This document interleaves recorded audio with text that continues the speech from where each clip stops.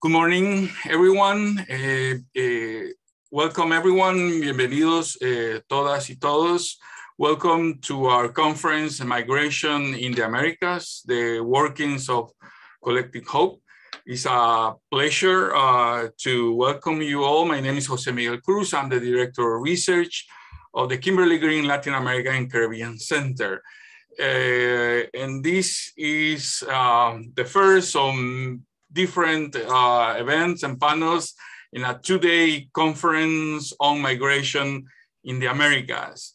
Uh, let me introduce you to President Luis Guillermo Solis, who will be providing the welcome uh, remarks for, for our conference.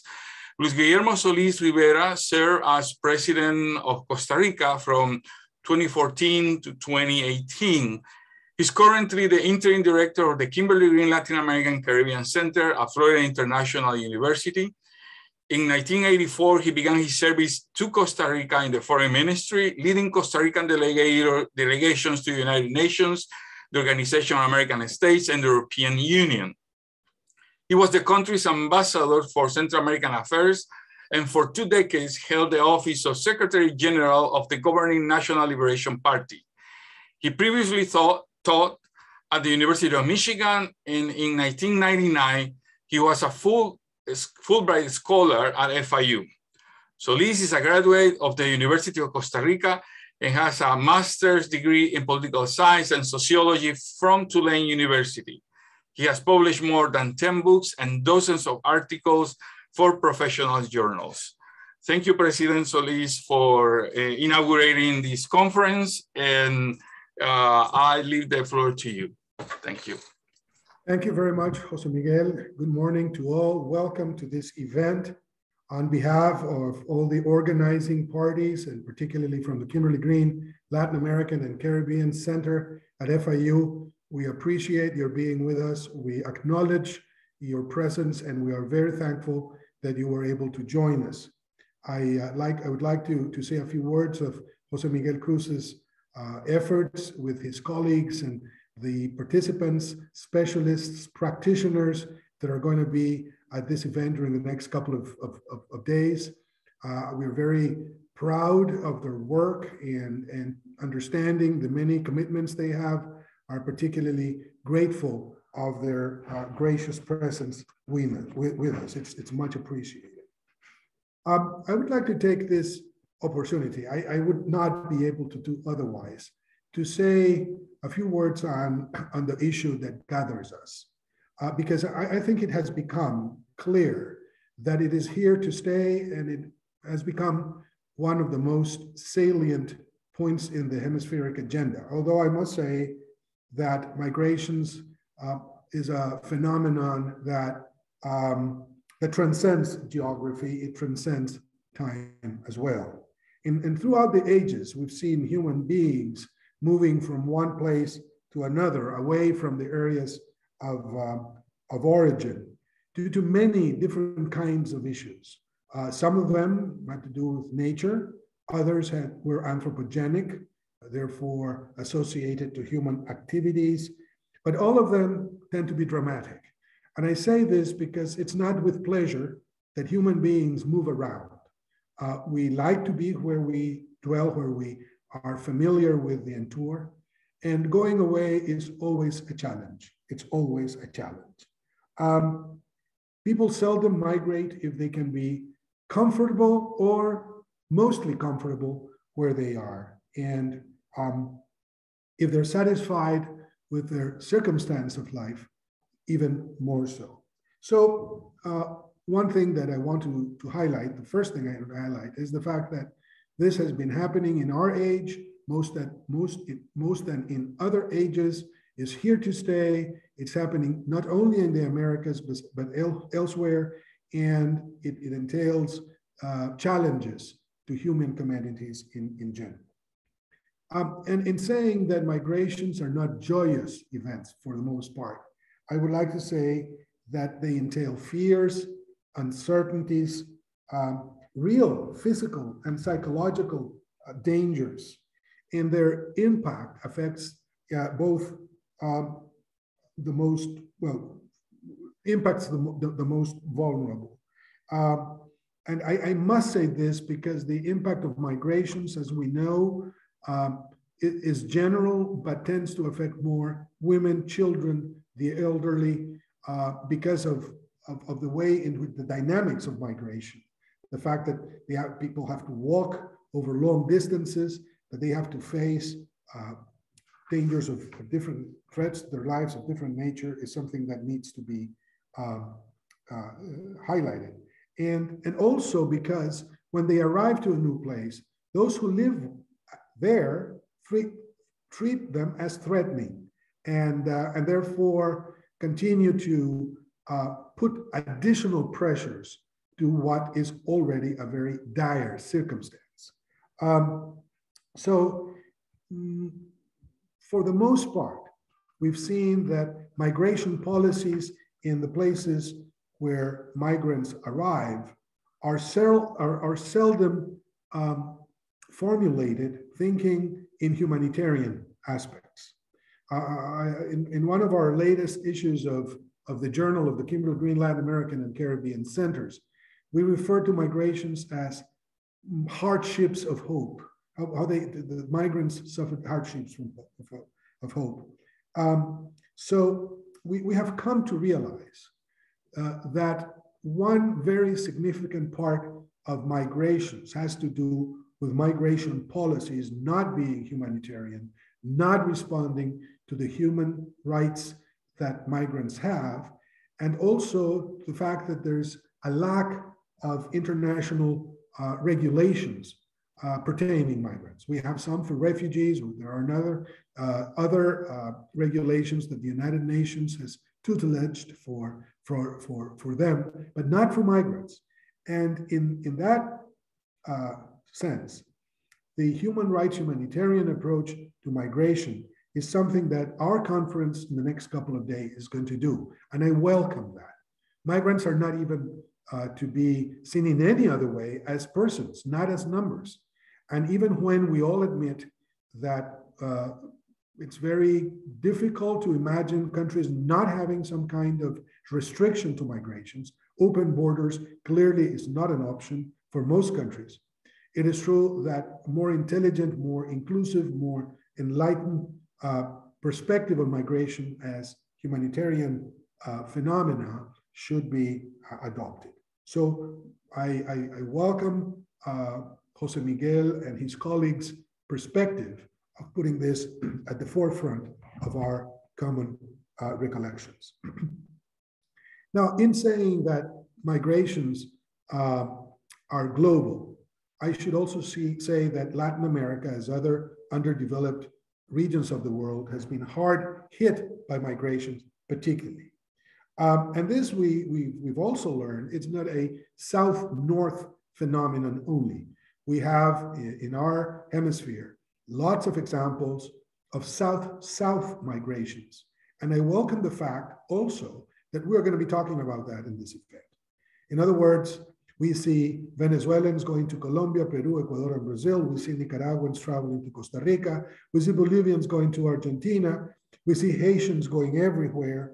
Um, so um, we, we, we have to, to address uh, these uh, migration issues, um, also bearing in mind that there are significant differences among them. And yes, of course, we would like to pay special attention of migrants coming from uh, Latin America to the United States, and most particularly uh, Central American migrants coming to the United States, those from the uh, Northern Triangle. But that it's not by any means uh, the only uh, reality that we're facing, and important as it is for the North American, uh, in the North American context, and I, I can only be grateful for the participation of organizations that understand that beyond the borders of the United States and the presence of Lloyd, the presence of former uh, Minister of Foreign Affairs of Canada, Lloyd, As, Lloyd Asworth, Axworthy, is a testament to that, bears testament to this. Um, I understand that we need to, to address this from a US perspective too. And at the threshold of the next conference uh, of the next summit of the Americas, I also find it very timely that we can provide uh, a recollection of what has been the case for Latin American migrations and what should be the path uh, forward. And in, in, that regard, I would like to bring about just a very short reflection on economic issues and how migrations should be uh, seen as productive and positive for nations. Um, I'm not going to get into that in, in, great detail, nor is the conference going to do that. But let's think of the benefits of migrations too. And I say this because I was really surprised in looking at the contributions that so-called illegal aliens do uh, to, to the American economy to learn that to the IRS, illegal, illegal migrants pay around $11 billion a year as part of the um, law requirements that was enacted under the Clinton administration that supposedly would eventually provide some um, facilities to these migrants who pay taxes uh, if they were to have um, their status regularized. This has never happened. It is not going to happen in the future. And yet, migrants, illegal migrants, continue to pay uh, those huge amounts of money to the government of the United States only with the illusion of a perhaps facilitated process of migration regularization. So if you, if you take other uh, parts of the economy, including the work in construction, the work in services, particularly tourism, uh, the way in which uh, migrants work in agriculture, in, in the cattle industry, etc., just gives you, an, gives you an idea of how there are possibilities that are not being uh, considered at this time, probably because of uh, the inconveniences in terms of wages and, and other factors associated to expenses that one would probably uh, could um, deal with in a different way if a more enlightened, more humanitarian, maybe even more intelligent uh, approach to migrations could be, could be adopted. Finally, I would like to say that migrations are not going to be a way, they are not going to be solved by repression and by more uh, forces of the of, of, of, law, law forces or law enforcement uh, personnel in the border. They are not going to be stopped by any wall. Uh, and therefore, we have to, to think in these new approaches, uh, looking for advantages to move forward. Once again, I, I, want to thank all of you for being part of this exciting moment in LAC's uh, history, the creation of this uh, conference. Once again, Jose Miguel, I, I, want to express my deepest gratitude for you uh, for uh, convening it and having your colleagues uh, participate in it and, and, and wish you the best uh, in, in, this, uh, in this event.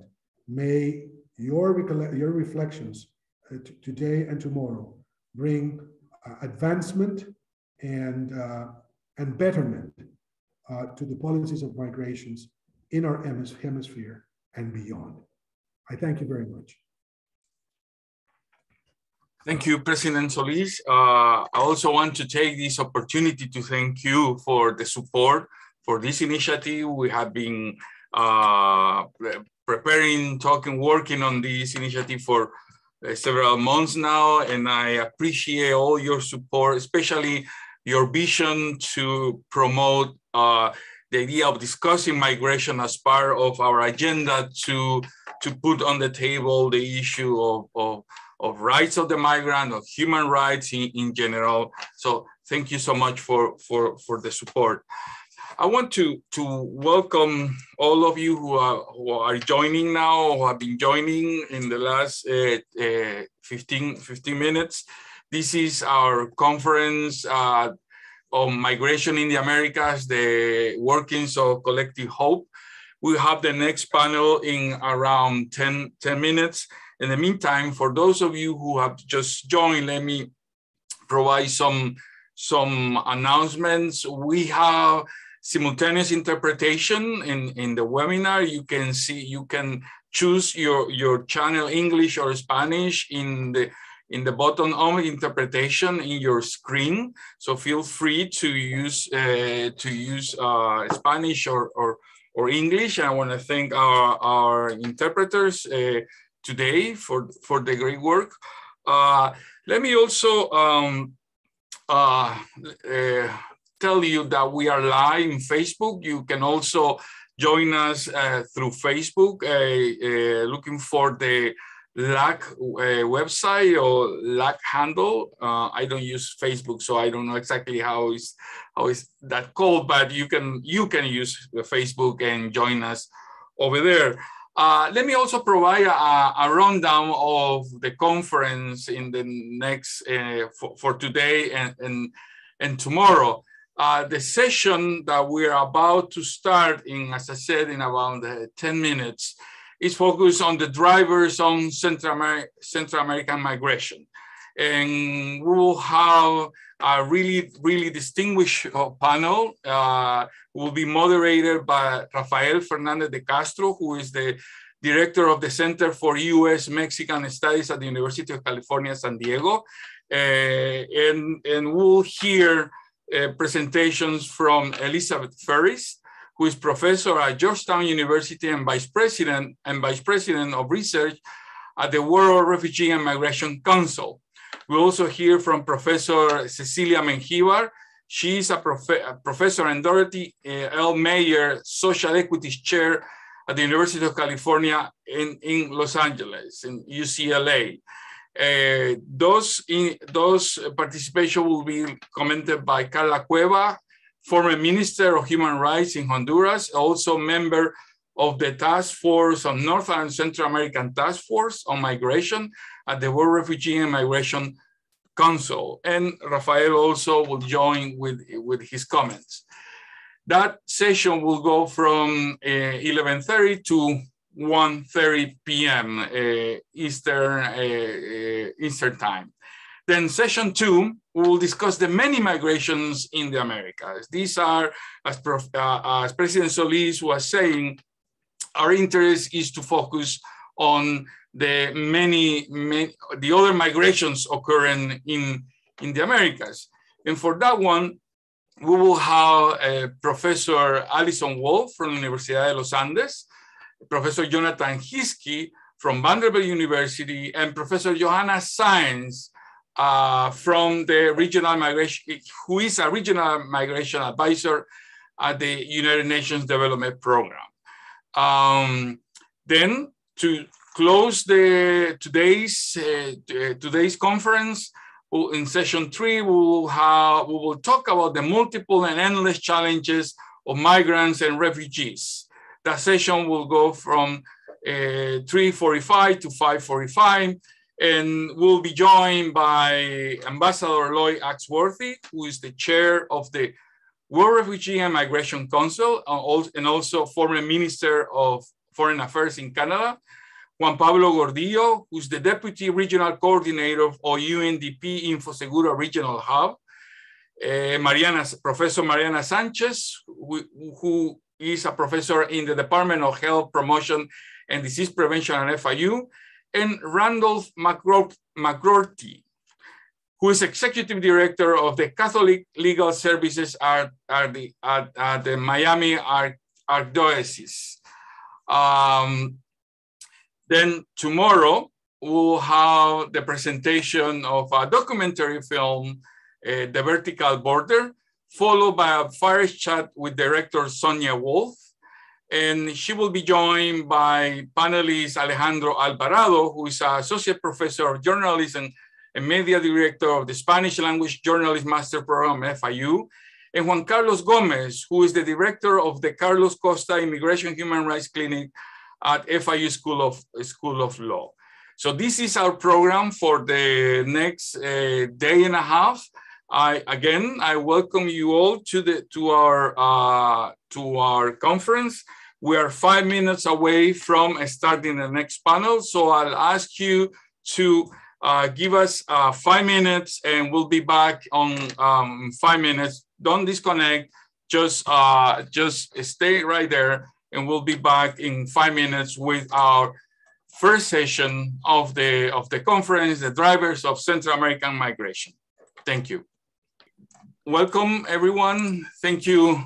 Thank you for uh, joining us uh, in the session one of the uh, title, The Drivers of Central American Migration.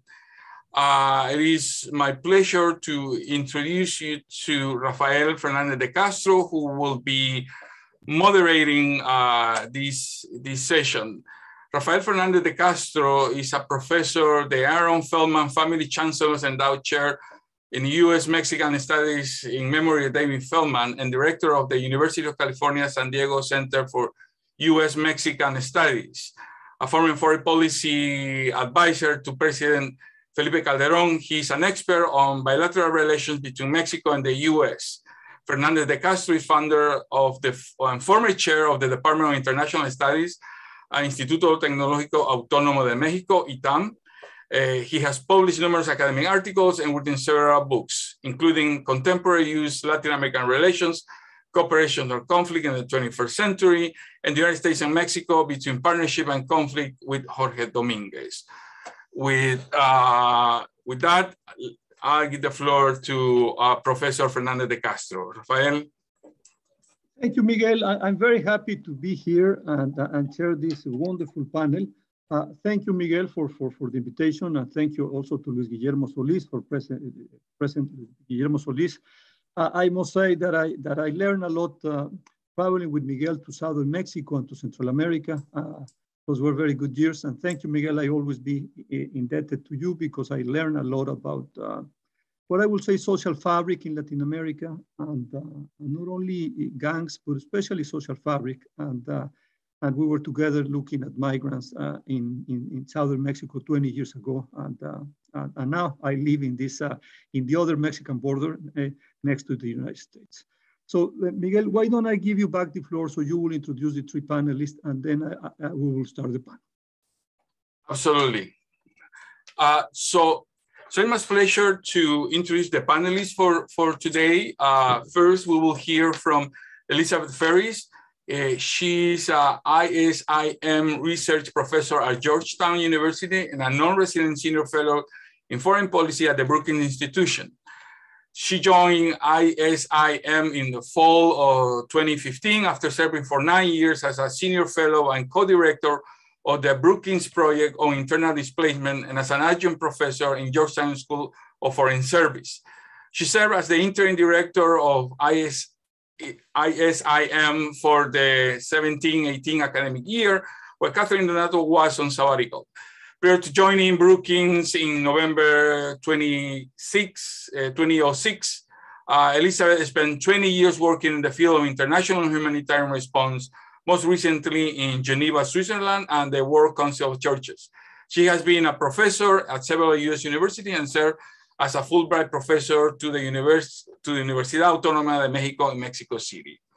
After hearing from uh, Professor Ferris, we will hear from Professor Cecilia Menjivar, Cecilia Menjivar holds the Dorothy L. Meier Social Equities Chair and is professor of sociology at UCLA. She specializes on immigration, gender, family dynamics, social networks, and broad conceptualizations of violence. Her research explored the impact of immigration laws and enforcement on immigrants and the effects of multi-sided violence on individuals, especially Central American immigrants. She also focuses on the political, uh, political state and judicial failures that sustain gender-based violence in Central America. Her, her more uh, recent publication is the Oxford Handbook of Immigration Crisis. I mean, here is both uh, John uh, S. Guggenheim Fellow and uh, Andrew Carnegie Fellow. She has served as Vice President of the American Socio Sociological Association and is currently President of the uh, ASA, I'm sorry, 2021 2022. Let me just add a personal note on, on uh, Cecilia. I've known Cecilia for many years, uh, and I all, all, also indebted to her. She encouraged me to pursue uh, uh, graduate studies here in the United States many, many, many years ago. After Cecilia, we will, we will hear from Karla Cueva, who is the former Minister of Human Rights of Honduras. She's currently an independent consultant on issues on development and social protection uh, of human rights and the development of laws, regulation, public policies, and programs on trafficking and commercial exploitation. Uh, Minister Cueva is a lawyer from the National Autonomous University of Honduras and holds a master's degree in advanced studies of children rights from the University of Fribourg and the Institute uh, Universitaire Kurt Bösch in Switzerland. She also served as assist, Assistant Minister of Human Rights and Justice for Honduras and as Assistant Minister of Social Policy of the Ministry of Social, Social Development from 2010 to 2012. So thank you all for joining in this program. So I, I, I, I give the floor back to you, Rafael. Thank you, Jose Miguel. And well, as you can tell, we have a, a wonderful panel and uh, uh, with, with three different visions of, of what's going on in, in immigration. Uh, and, uh, and I will give the floor first to Beth Ferris. Uh, Beth and I, we've been participating as well as Jose Miguel in the North and Central American Immigration Task Force. And uh, it's a group of Canadians, uh, Americans, Central Americans, and Mexicans that we've been getting together to try to seek for solutions.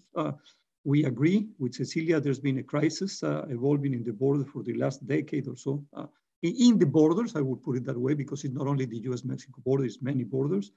And, uh, and uh, so please, fair, uh, uh Beth, uh, we all call you Beth, if you don't mind. And uh, as you can tell, she has lots of experience in dealing with migrants and, and with refugees. And it's been a pleasure to work with you the last year. Please, the floor is yours, Elizabeth. And the idea is you will have about 25 minutes, each one of you, um, 30 minutes or so, and then we'll have like another 30 minutes for Q&A. But it always appreciated if we could have a good time uh, to Q&A. Go ahead, Elizabeth, and thank you for being with us.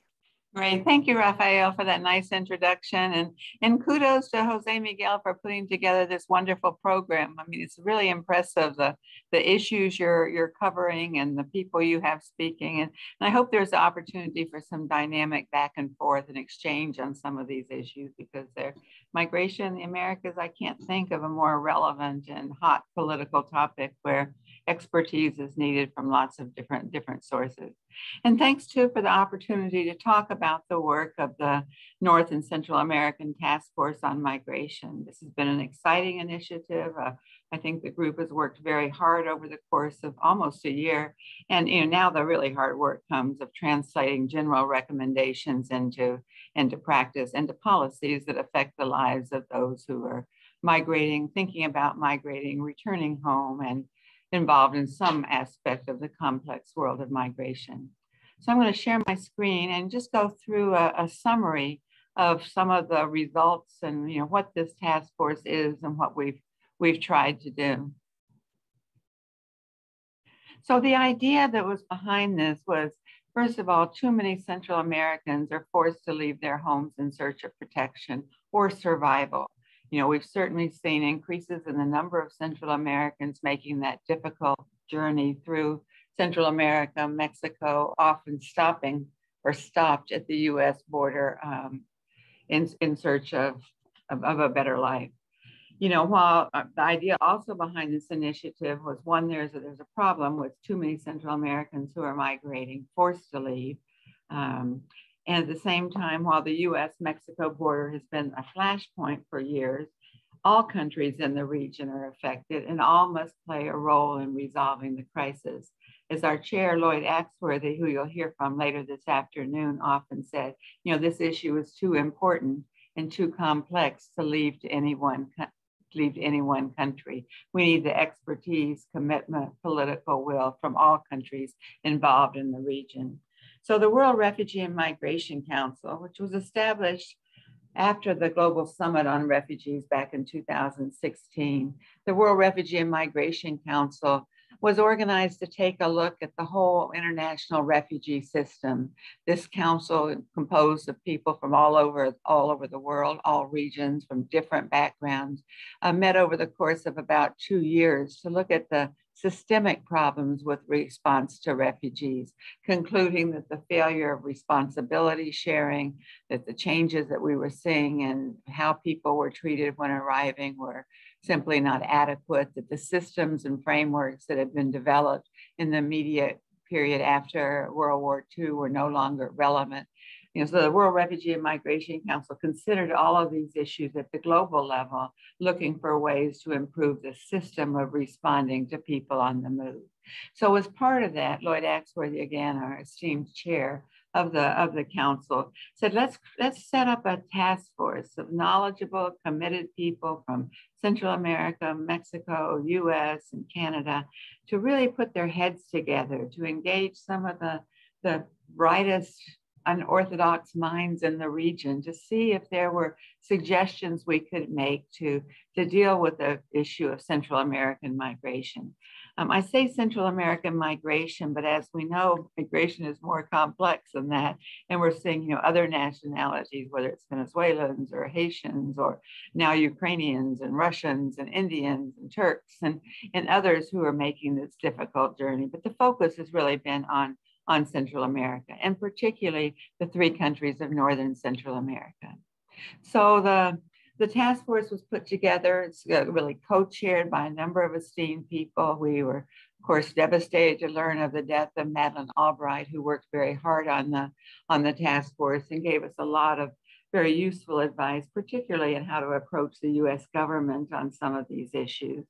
But we had, you know, people. Uh, uh, Mayu Avila from, from El Salvador, Julieta Castellanos from Honduras, uh, Father Chiarello from the Scalabrinis, um, based in based in Rome, but very active in the re region.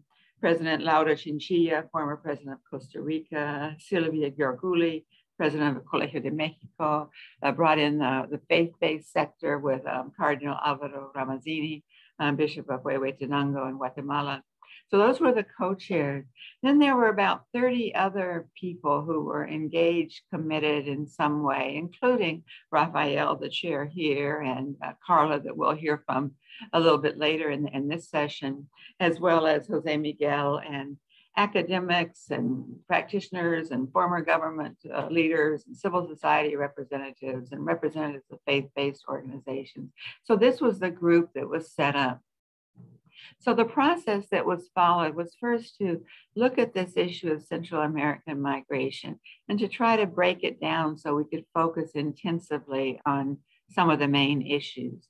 We began by looking at humanitarian protection in the region, particularly the situation of women, children, situation of uh, internally displaced persons, which never gets nearly enough attention when you're looking at displacement in Central America or, or anywhere for that matter. So we started by looking at humanitarian protection in the region with the idea that if, people are safe where they live, there will be uh, less of a compulsion to, to seek protection elsewhere. We looked at regional cooperation and co-responsibility. What are the structures we have for coordinating policies, approaches on Central American migration? We, we heard from a number of people working in organizations associated with the UN High Commissioner for Refugees, with SICA, the Central American uh, Integration System, with International Organization for Migration, some of the ad hoc platforms that have emerged, and trying to see what role broader regional cooperation could play in coming up with some solutions for the present situation. We then looked at what's driving migration um, and you know, sometimes in the media, the immediate response to migration is to provide more economic aid. But the feeling of the task force was very strong that yes, there are economic and environmental drivers of migration, but the more fundamental issues of corruption, accountability, rule of law have to be tackled first. Um, the, the task force felt that you know simply increasing economic investment in the area, even in sectors where such investment is needed wouldn't be sufficient that you really had to tackle these political and institutional drivers of migration. So we looked at those, we looked at economic and environmental poverty, inequality, um, as well as climate change and some of the long-term effects on the region. We then looked at alternative migration pathways I mean, it's, it's, it's very obvious the reason there's so much irregular migration from Central America is simply that there aren't enough regular ways, uh, authorized ways for people to move. And we considered how to come up with better, more, and more coordinated pathways so that migrants wouldn't have to take these terribly risky journeys. And we close with the issue of integration. You know, what happens after Central Americans arrive?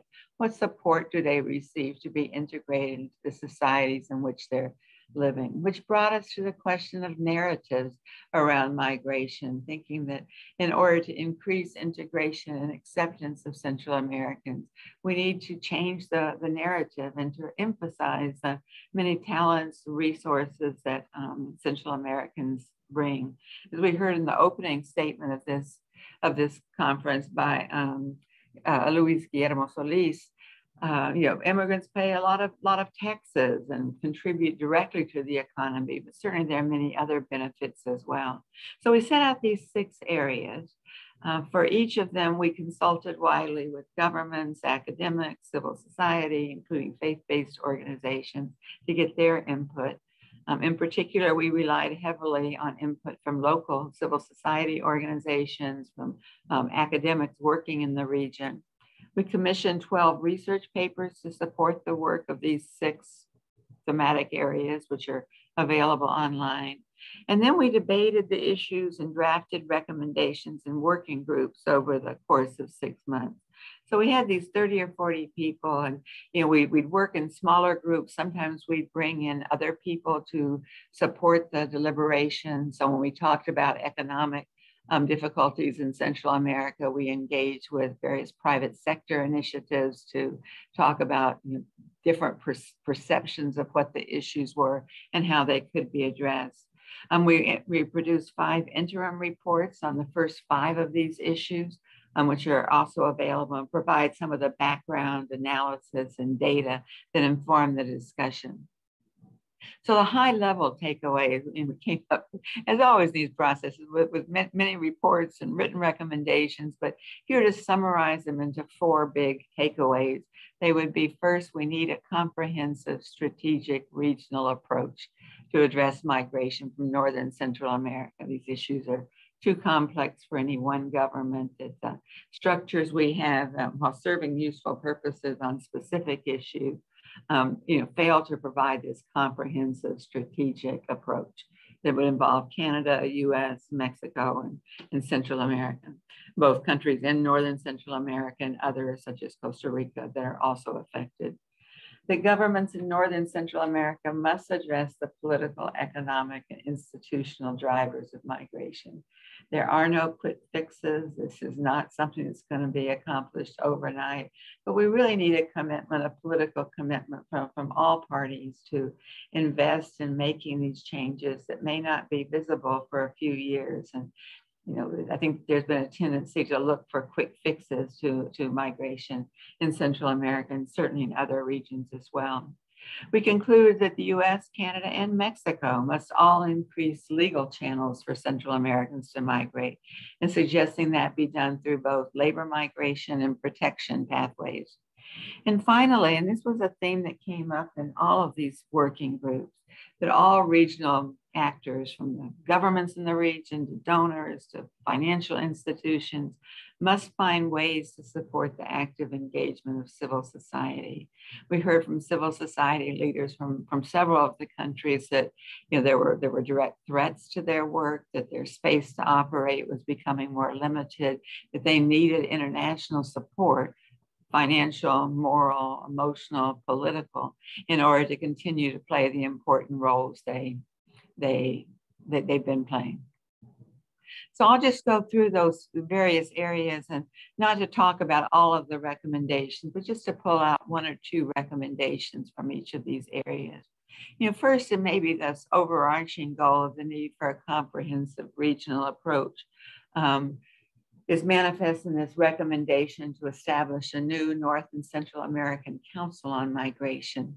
And the idea here is to learn from the Arctic Council, which has been a, a very creative, flexible, inclusive um, mechanism for coordination of various issues, particularly environmental issues in the Arctic.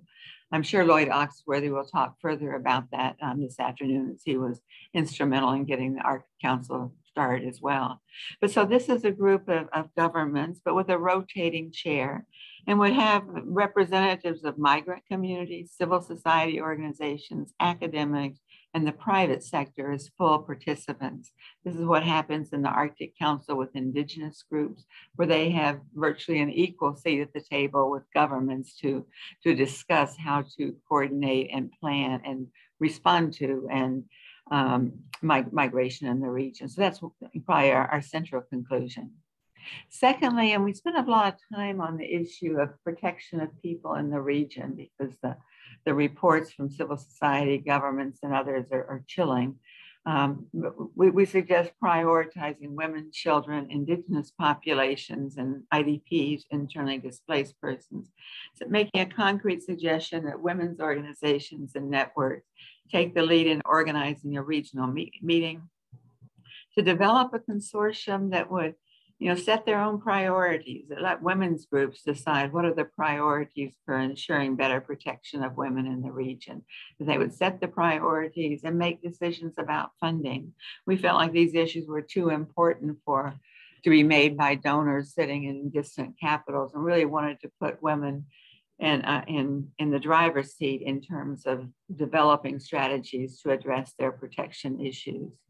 Um, related the issue of children and certainly the number of children and unaccompanied children who are presently migrating from Central America is of deep concern.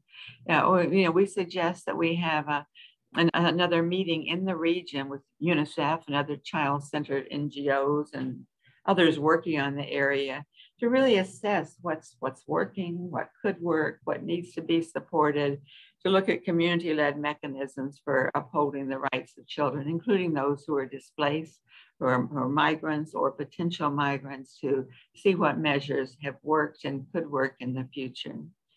Um, certainly we see through, throughout the region in Central America as well as Me Mexico the need to support asylum.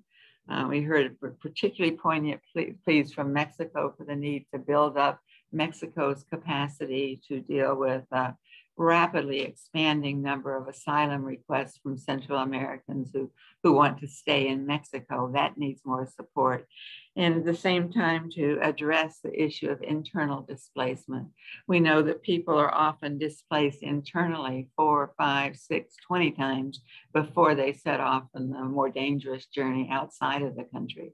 So enabling people who are displaced within El Salvador, Honduras, Guatemala to find protection and assistance um, would play a role in reducing the pressures to migrate internationally. In developing alternative pathways, we recognize that a lot of the migration from Central America is driven by a combination of factors. It's both you know, criminal violence and lack of opportun economic opportunity and um, concerns about you know, violence against women, environmental factors. But we, we followed the traditional binary system of looking at labor migration and protection pathways you know, already there are existing bilateral and multilateral agreements that to increase labor migration pathways. And, you know, we suggest those be looked at again and expanded. A recommendation not, not listed here is to consider the possibility of new programs to encourage migration for the, for the care worker sector. Um, certainly US, Canada, perhaps even Mexico, you see growing need for people to care for the elderly and childcare. And you know, there could be a special program to support particularly Central American women to have a legal way of, of migrating for labor. We also you know, suggested moving away from these temporary labor migration schemes to provisional labor migration schemes, you know, where someone would migrate for a period, say, of three years. And if they do a good job and don't have a criminal record, they could extend that and have a pathway to permanent residency and eventual citizenship that that would provide more stability for these programs. Uh, in terms of protection, you know, the United States and Canada in particular should expand these protection pathways. You know, we know about asylum and refugee status, but now we see complementary protection, temporary protection, humanitarian parole. You know, what among those is working or could be expanded to meet the needs of Central Americans who leave their countries or seek to leave their countries because they they don't feel safe. tackling the political institutional drivers. You know, here we identify corruption as one of the central issues generating migration.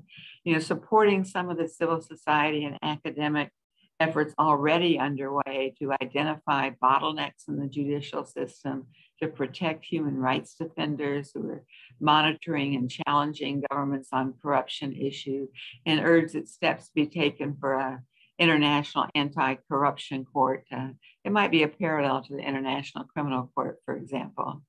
Um, yeah, and, and then specifically looking at the need to um, professionalize, to move away from corruption in the security forces and to prioritize reforms in the penitentiary systems. You know, too often uh, penitentiaries, prisons become recruiting grounds for, for gang members rather than efforts to actually rehabilitate people involved in gangs and other forms of violence.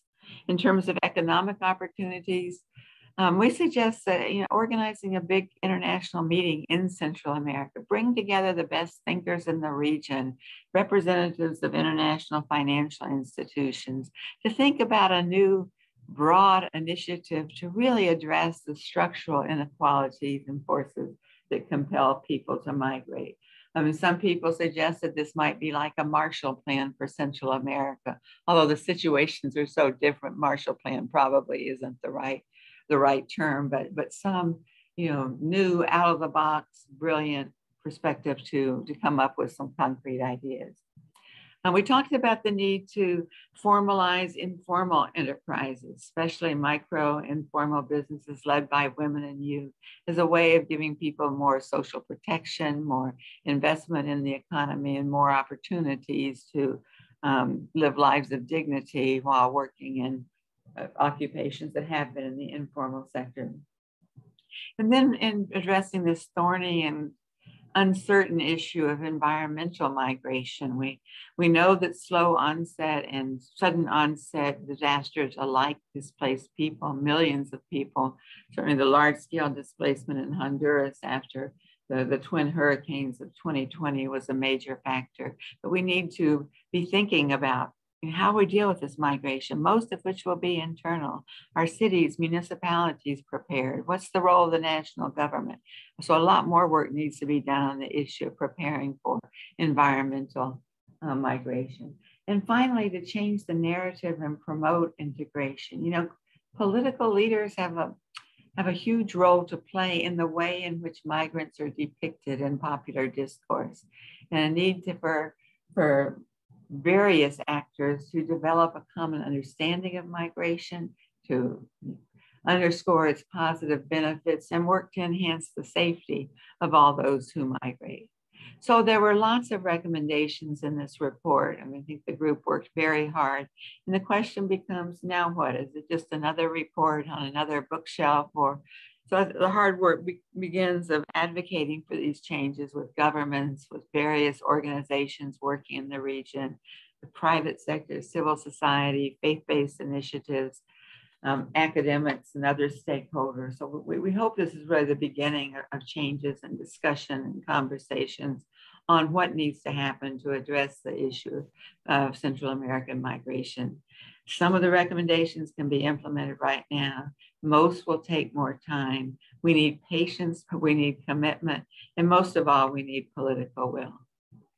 So thank you, stay tuned. I look forward to hearing comments from Karla, one of our task force members, and from Cecilia, and answering questions whenever, whenever it's appropriate. Thanks. Thank you, Beth. This is a wonderful summary of, of, of the, this uh, task force, of the work we have been doing for the last almost a year. And, uh, and thanks a lot. Uh, I mean, I have a lot of uh, comments, but I, I will I will not say anything because now is the turn of Cecilia Menjivar. Uh, please, Cecilia, uh, yours is the floor. Thank you so much, Rafael. Let me get my PowerPoint started here. Um, oh, I need to share screen first.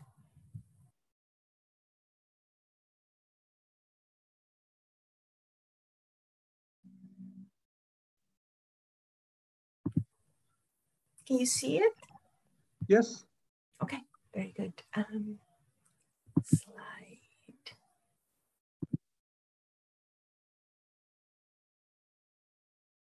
Okay, thank you so much for the invitation to participate in this conference, um, Jose Miguel, and for um, for the for for your presentation, um, Elizabeth, because it is my, as you will see, my presentation complements what you have said very very well, um, because I'm going to uh, talk about the role of the state in policy and politics, but from a different angle, very complementary to what you have said. And so I'm going to um, just quickly um, mention that just like Elizabeth was mentioning, um, that solutions and what can be done requires coordination and collaboration across states, across governments in the region. My my comments today speak to collaborations and coordination, but not in the solutions, but in, in how those collaborations and, and what the states do have created conditions for this migration to happen. So whereas Elizabeth presented um, the, the, the end, what um, governments and, and states can do, I am going to talk about what they have done that has precipitated the migrations that we see today. So, for, um, so I just want to very quickly mention that, of course, Central American migration um, historically, but what we see today um, has happened in the context of multiple upheavals, um, climate change, in, increased and increasing inequalities across the board, um, threats to democracy, economic instability, dislocations, not only in terms of internal population dislocations, but dislocations from formal structures, from formal markets, from, um, from institutions. And of course, um, in, the in the context of migration, uh, population displacement internally, which again, as Elizabeth pointed out, we don't, we don't give enough attention to, but it's very integral to the overall migration patterns that we see from Central America today. So these are all very much interrelated. These are not single factors. You cannot, we cannot explain migration from Central America without taking into account all of these factors and maybe more. Um, so I wanted to, to um, also mention these. In this context, can we talk about Central American migration as a crisis? Um, here, I want to highly recommend the work of the preeminent Salvadorian economist, William Pleitez, who just wrote a book and is going to present his book at UCLA on April 28th. Um, it is a the most comprehensive analysis of Salvadorian of the Salvadorian economy. Um, it's a, it's 200 years of the Salvadorian economy from um, independence to today. He wrote this book in in in um, in the context of the bicentenary of the independence of Central America, and I highly recommend it because once you you read that, you um, it opens up the historical lens and what we think of migration crisis is not a book about migration, it's a book about the Salvadorian economy that applies to the rest, rest of the country too.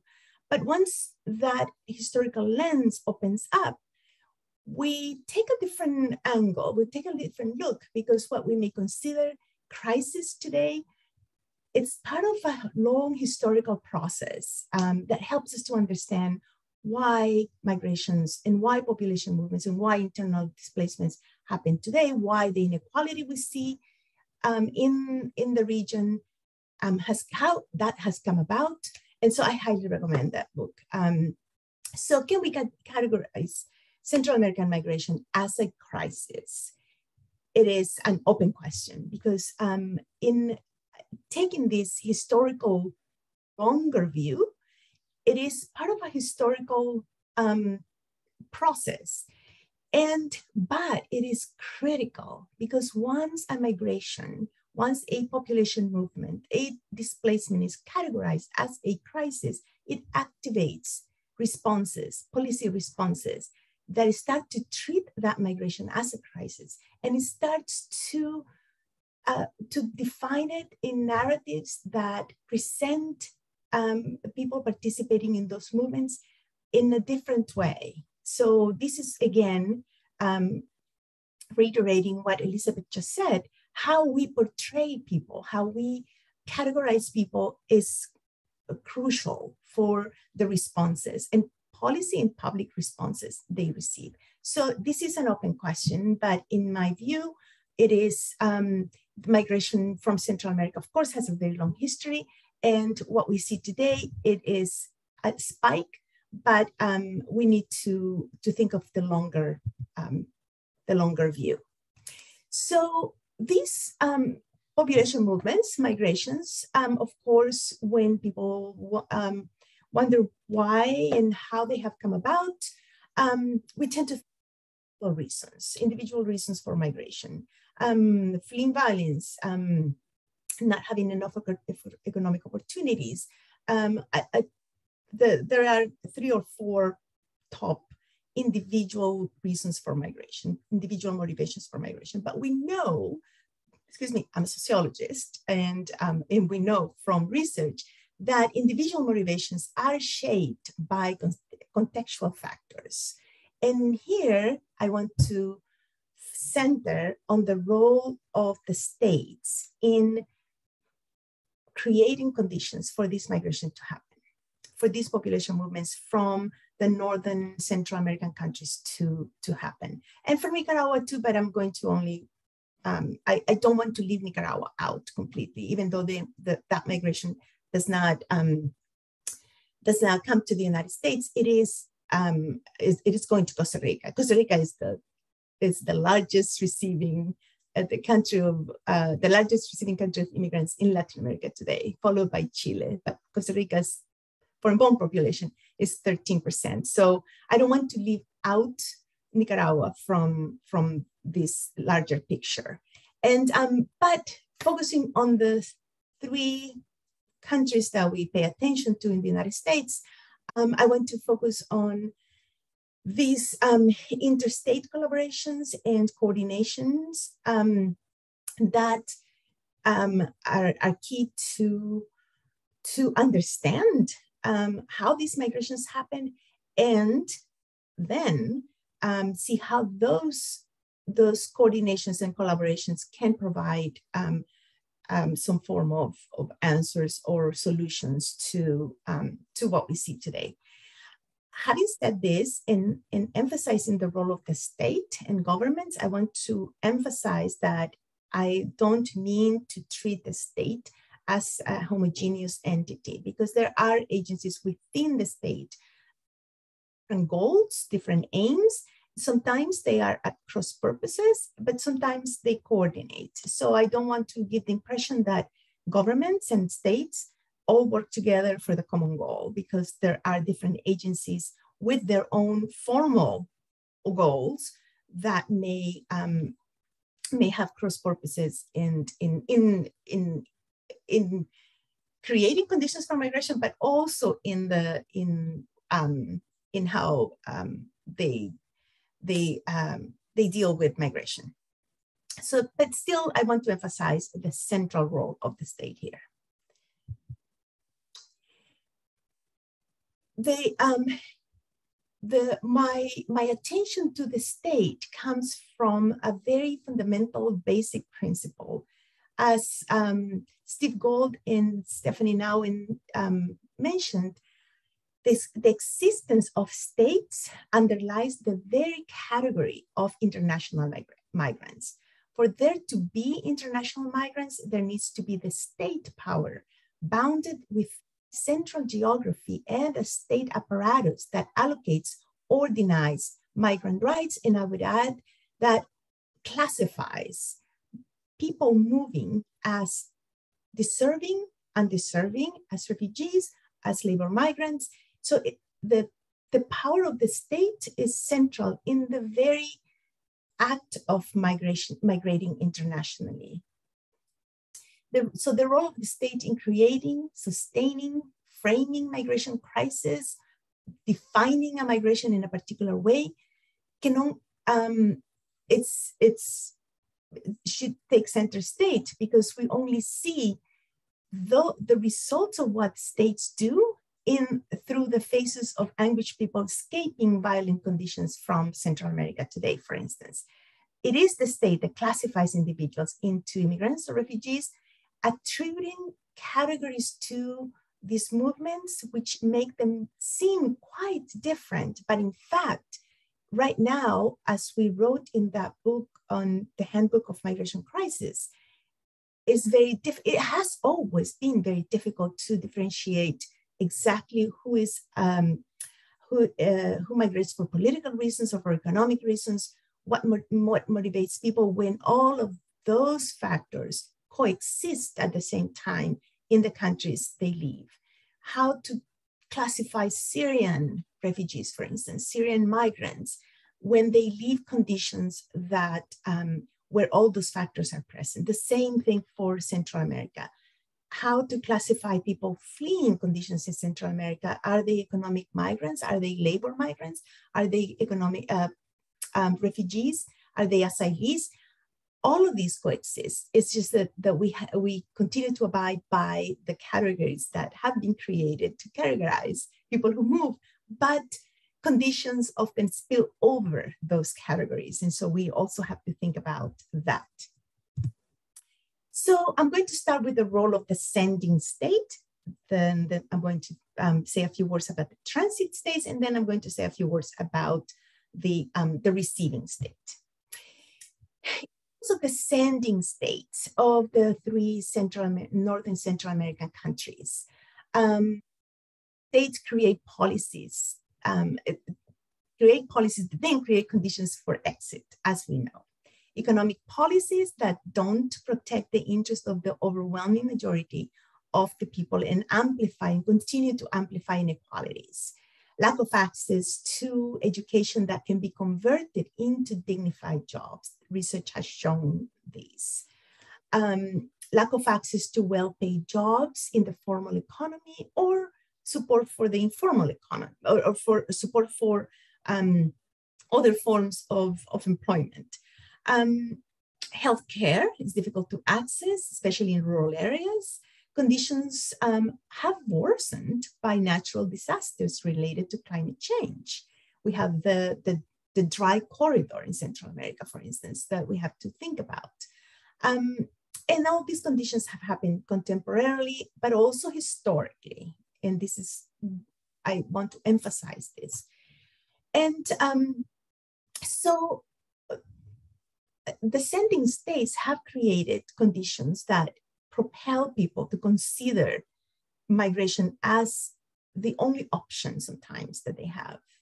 And um, so we have children, women, and men um, often see no other future, no future in their in their countries, but to migrate. In fact, we have interviewed um, deportees in the three North and Central American countries. And they, after a couple of deportations from the United States, they still are planning to migrate. We interviewed a, a, a man in Honduras who, after two deportations, still was planning um, to migrate to the United States again within a month after we interviewed him. But, um, and while the sending states um, have become securitized, militarized, um, demonstrating quite a high level of, um, of power to control. At the same time, there's a contradiction there. Um, there's a lack of protection from violence that can come from inability or unwillingness. Who knows? But there is a lack of protection. At the same time that they show quite a bit of power, there's a lack of protection. Um, and sometimes agents of the state participate directly in the violence that spirals and then creates more violence.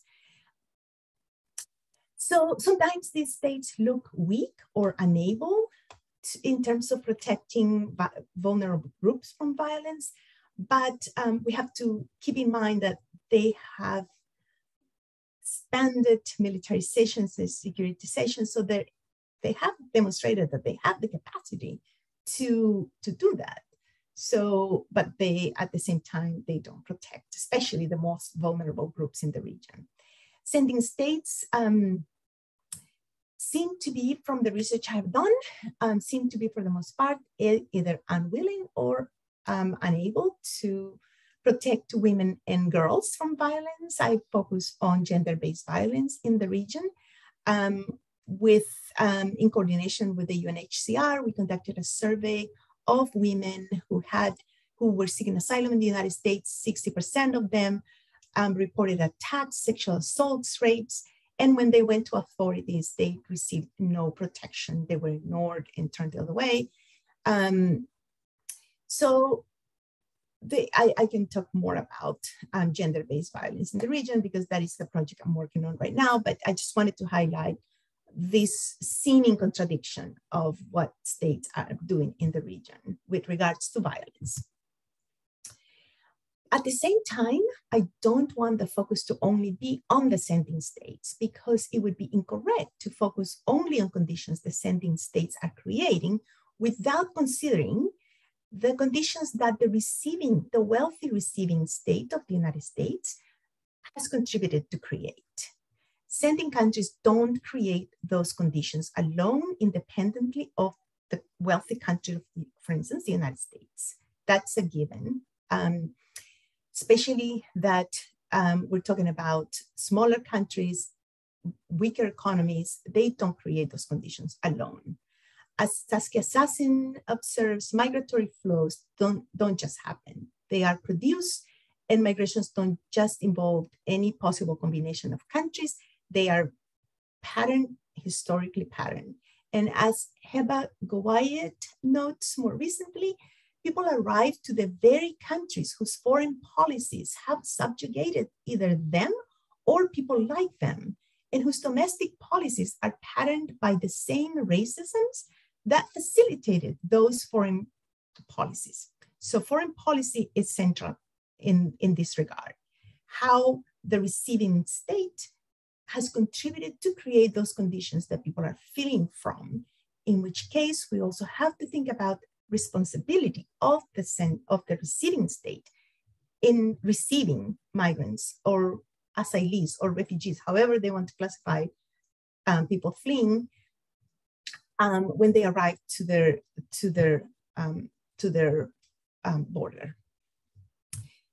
Um, so it, this is this is another piece of the puzzle of how we um, we need to understand migration from Central America as vast and multifaceted, um, and the U.S. role in creating those conditions uh, through market expansions, multinationals, creation of dependent economies, militarization, interventions, dislocations, the list is, goes on and on.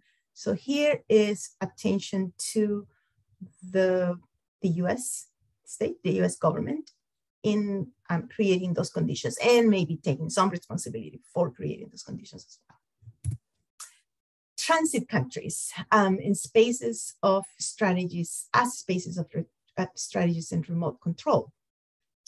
We know that um, borders have expanded inwardly and outwardly, internally in the United States through enforcement and control, outwardly through sourcing and externalization of borders. I'm so glad that you're going to show the documentary, The Vertical Border, because this is what I'm talking about here.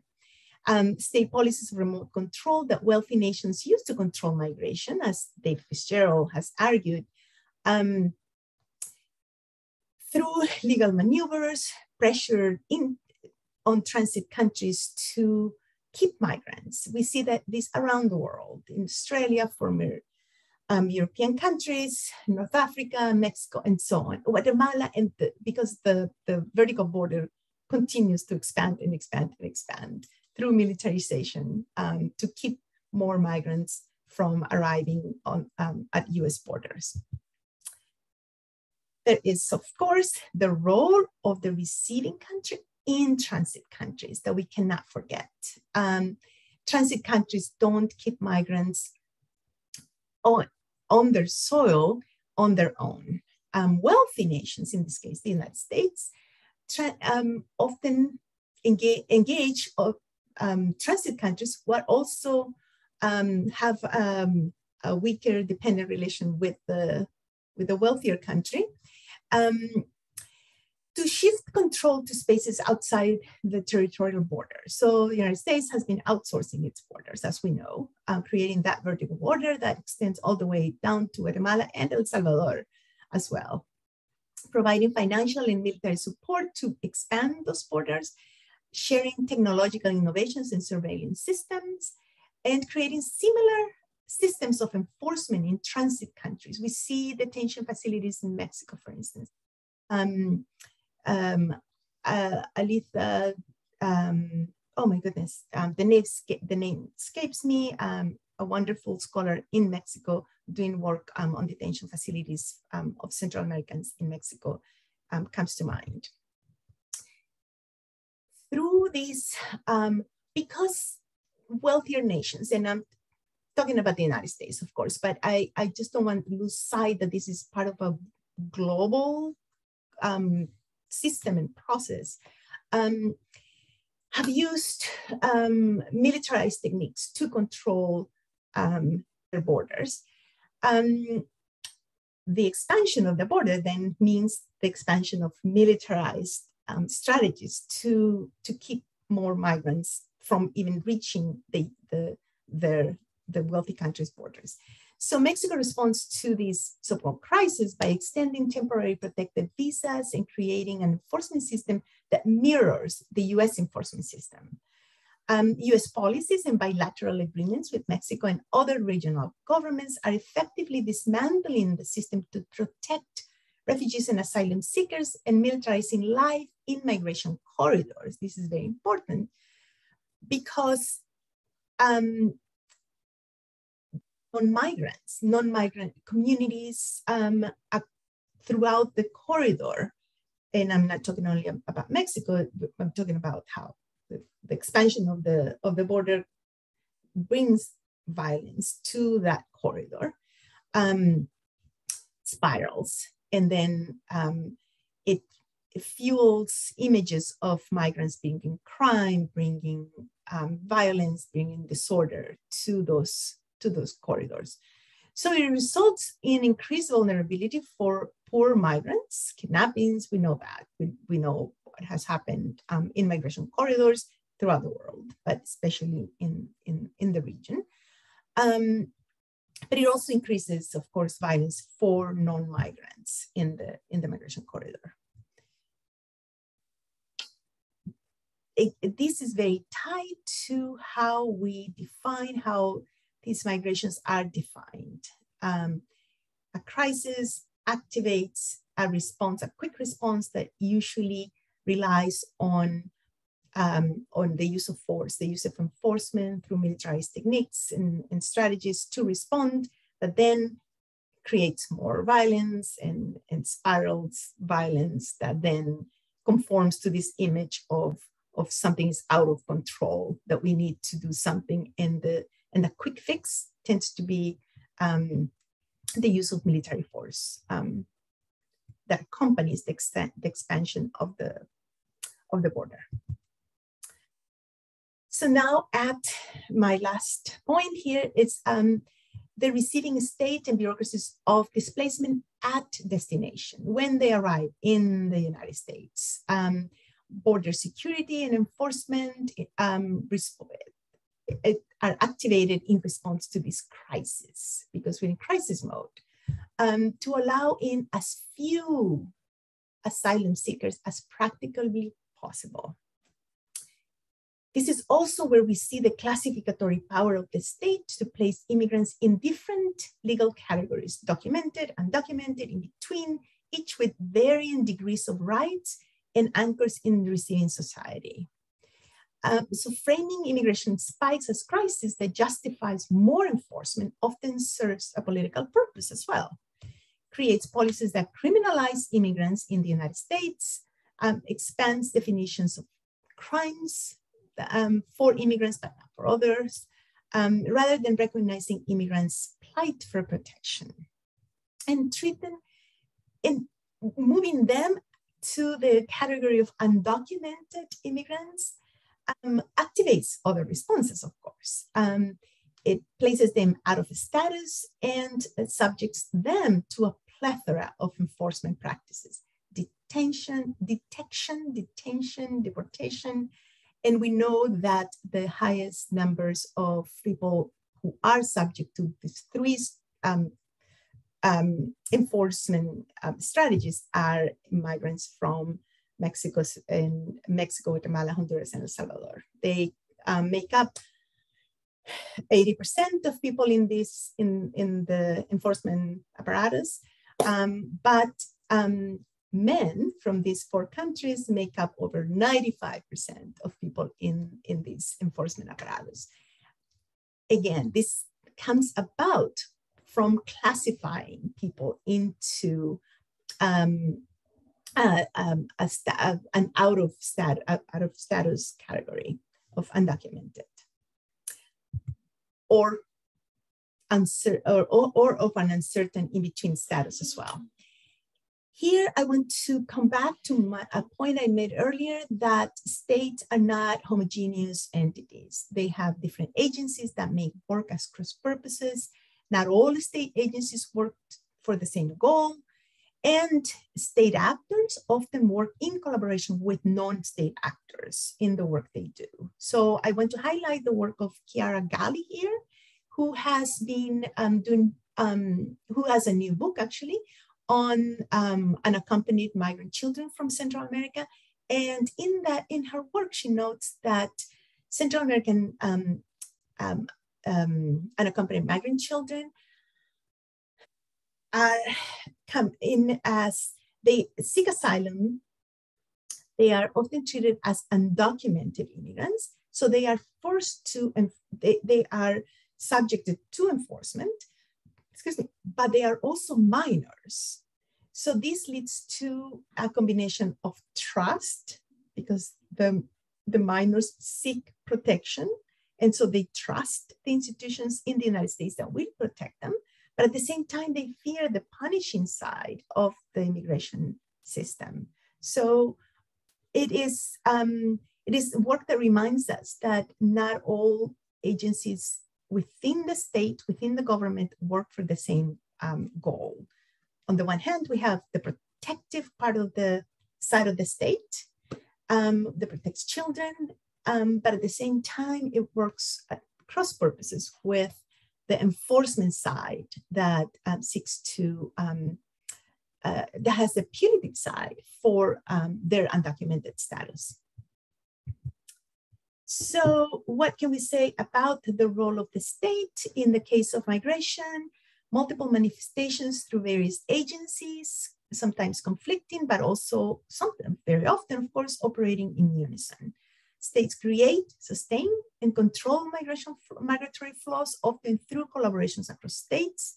And um, so I want us to think of state actors, of the complexity of when we think about this, the role of the state, to think of the complexity this implies, because there is a regulatory side to this, there's a punitive side, but there's also a protector and guarantor of rights. And this is what a lot of asylum seekers from the region are coming for. Um, they, they see the side of, of, of, of, the, of the state, of the government as protector of rights, even though there's a punitive side that they have to also consider. And I think I will end here. Thank you very much.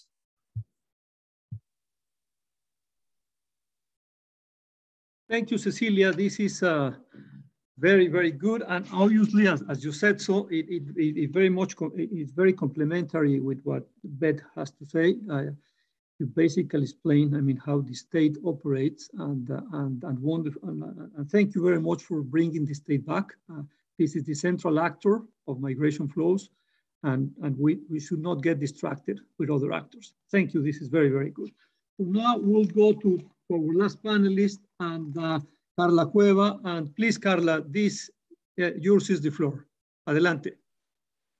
Thank you for thank you very much, and thank all for the honor to collaborate and contribute to this important and urgent issue, uh, not only in all the Americas but also in the world. I want to ask if I can share some ideas in Spanish. I think I am more passionate in Spanish than in English. And I will continue in Spanish, if you allow me. Um, creo que es importante eh, el poder enlazar las ideas de Beth, que ha hecho todo el trabajo de plasmar el esfuerzo de, de años de trabajo de, de este fabuloso grupo de trabajo que ha condensado eh, horas y días de, investigación muy profunda y, se une mucho con lo que Cecilia decía, ¿no? la importancia del rol estatal, cómo em, se visualiza el rol del Estado en el fenómeno migratorio. Eh, a mí me gustaría quizá profundizar un poco más en el contenido de los reportes. Hay muchísima riqueza de información en los reportes de este maravilloso grupo de trabajo. Y me gustaría poder retomar algunas de las, de las eh, de los factores determinantes de la migración en Centroamérica, partiendo también del ejemplo que vivimos eh, en países, quienes vivimos en países como Honduras, Guatemala y El Salvador. Eh, en primer lugar, destacar que Creo que nadie quiere dejar voluntariamente su hogar, su familia o su comunidad. Eh, los informes ya destacan que la mayoría de los migrantes centroamericanos desde hace mucho tiempo eh, citan particularmente las condiciones económicas como el motivo de la decisión de abandonar sus países y sobre todo la dura decisión de abandonar su familia su hogar y su comunidad. Eh, para algunos es la, única razón, porque ya no pueden sobrevivir donde están. Y tal como lo decía, creo que Beth y también Cecilia, porque se ha perdido la esperanza. Eh, otro de los factores eh, que se ha agravado, creería yo, en los, en los últimos años, en las últimas décadas, es la pérdida de los medios de vida.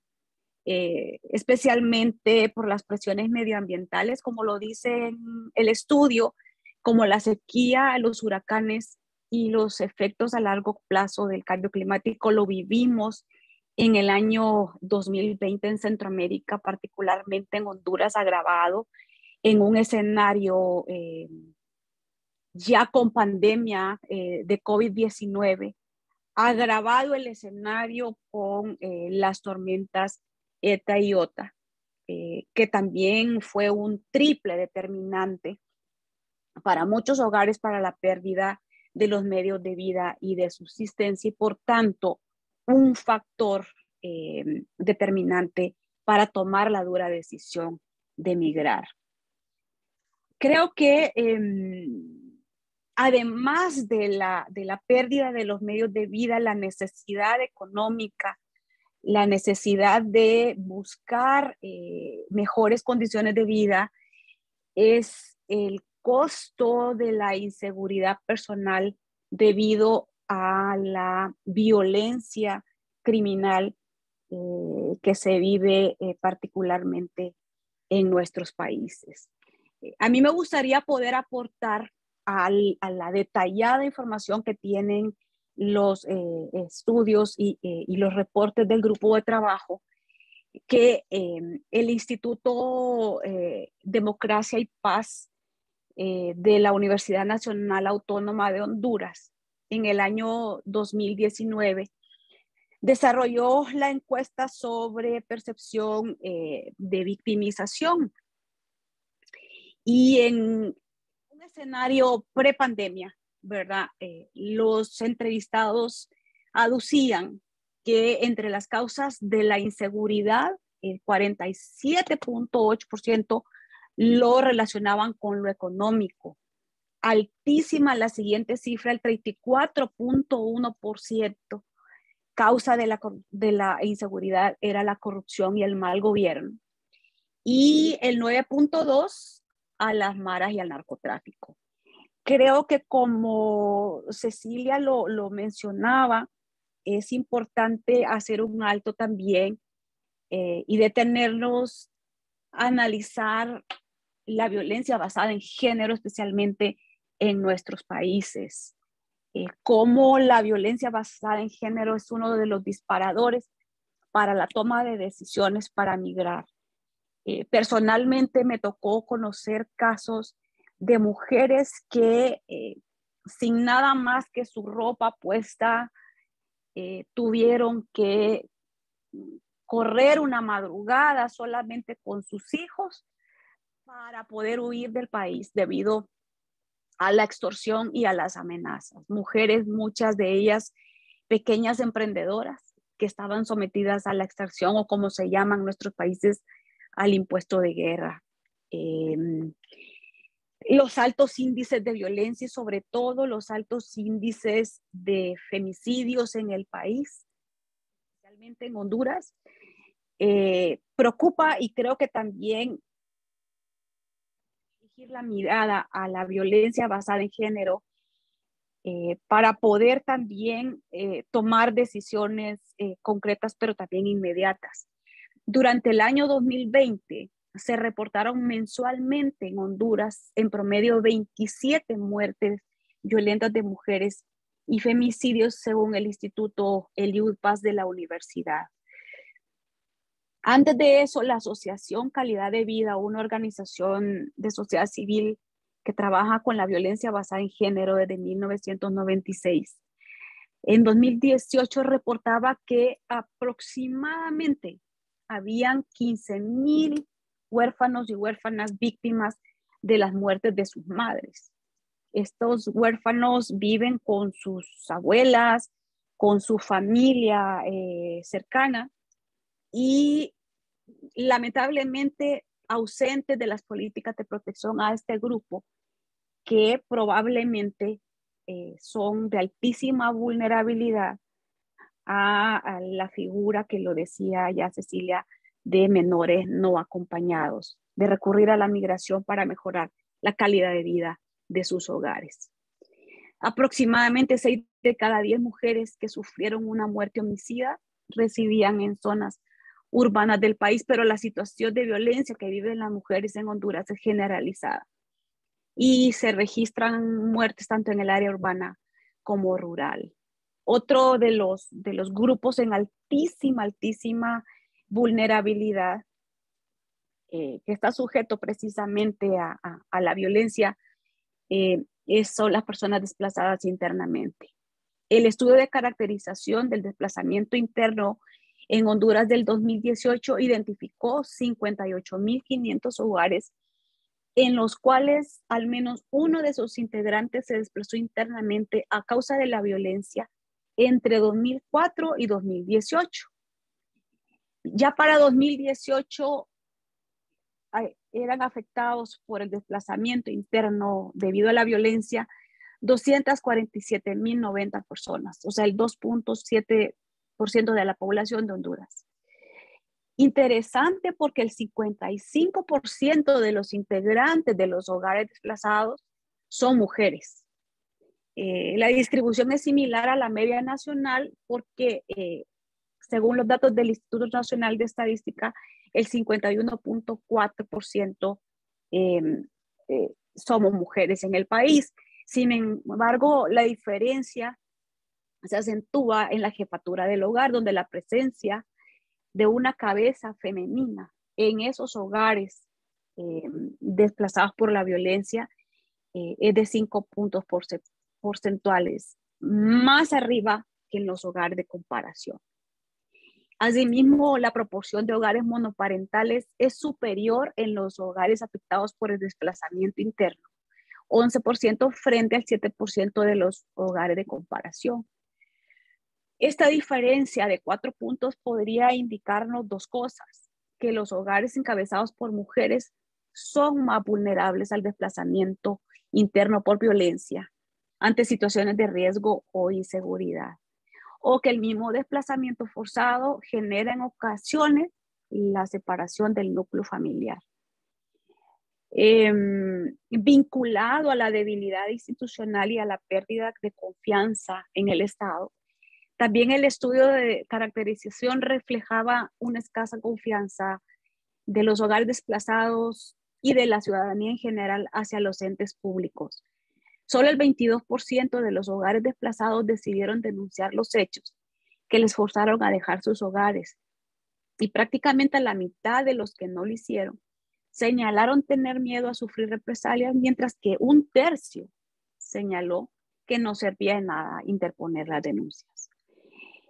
Algo interesante de lo que, de lo que resaltaba Cecilia era el rol del Estado y a mí me gustaría también en este caso unir el rol también de las organizaciones de base comunitaria o el papel que juega el tejido social eh, en, el, fenómeno, no únicamente del desplazamiento, pero también de la migración. Las personas desplazadas tuvieron más confianza para solicitar ayuda a las iglesias, eh, valoraron positivamente su labor de mediación, de sensibilidad y sobre todo de protección, así como los patronatos y las juntas de agua y otras organizaciones comunitarias. Yo creo que es importante eh, volver la mirada al enfoque territorial y al enfoque comunitario, porque probablemente eh, eh, nos centramos en los niveles supraestatales cuando muchas de las soluciones al fenómeno migratorio y el del desplazamiento y la violencia están ahí fortaleciendo el tejido comunitario. Em, Igualmente, pues, eh, lo que nos refleja y los datos que nos reflejan los, reportes del grupo de trabajo, em, también nos refiere que no únicamente son los migrantes centroamericanos los que están viajando a Estados Unidos. Eh, nuestros países son eh, países expulsores de migrantes sin embargo, también se han convertido en países de tránsito y también de destino. A mí me gustaría destacar que, eh, de acuerdo a un estudio de OIM de julio de 2021, habían ingresado a Honduras de forma irregular, principalmente por las fronteras del sur. Eh, casi 17 mil personas, principalmente eh, procedentes de Haití, de Cuba, Nicaragua y otras nacionalidades procedentes de América del Sur, de Asia y África. Yo sé que este tema se va a abordar en el próximo panel. Eh, sobre todo es importante destacar que los migrantes extrarregionales presentan altos riesgos de vulnerabilidad, sobre todo pues eh, ya aunado al desarraigo, ¿no? el desgaste aparente que ya traen en su salud física y mental, con enfermedades relacionadas con la deshidratación, con desnutrición eh, y problemas físicos, ampollas en los pies, entre otras. Y estos migrantes extra, extra regionales o extracontinentales em, aducen entre las razones para emprender el camino migratorio la búsqueda de mejoras en sus condiciones socioeconómicas, el desplazamiento por violencia o conflictos políticos y la reunificación familiar y una mejor calidad de vida.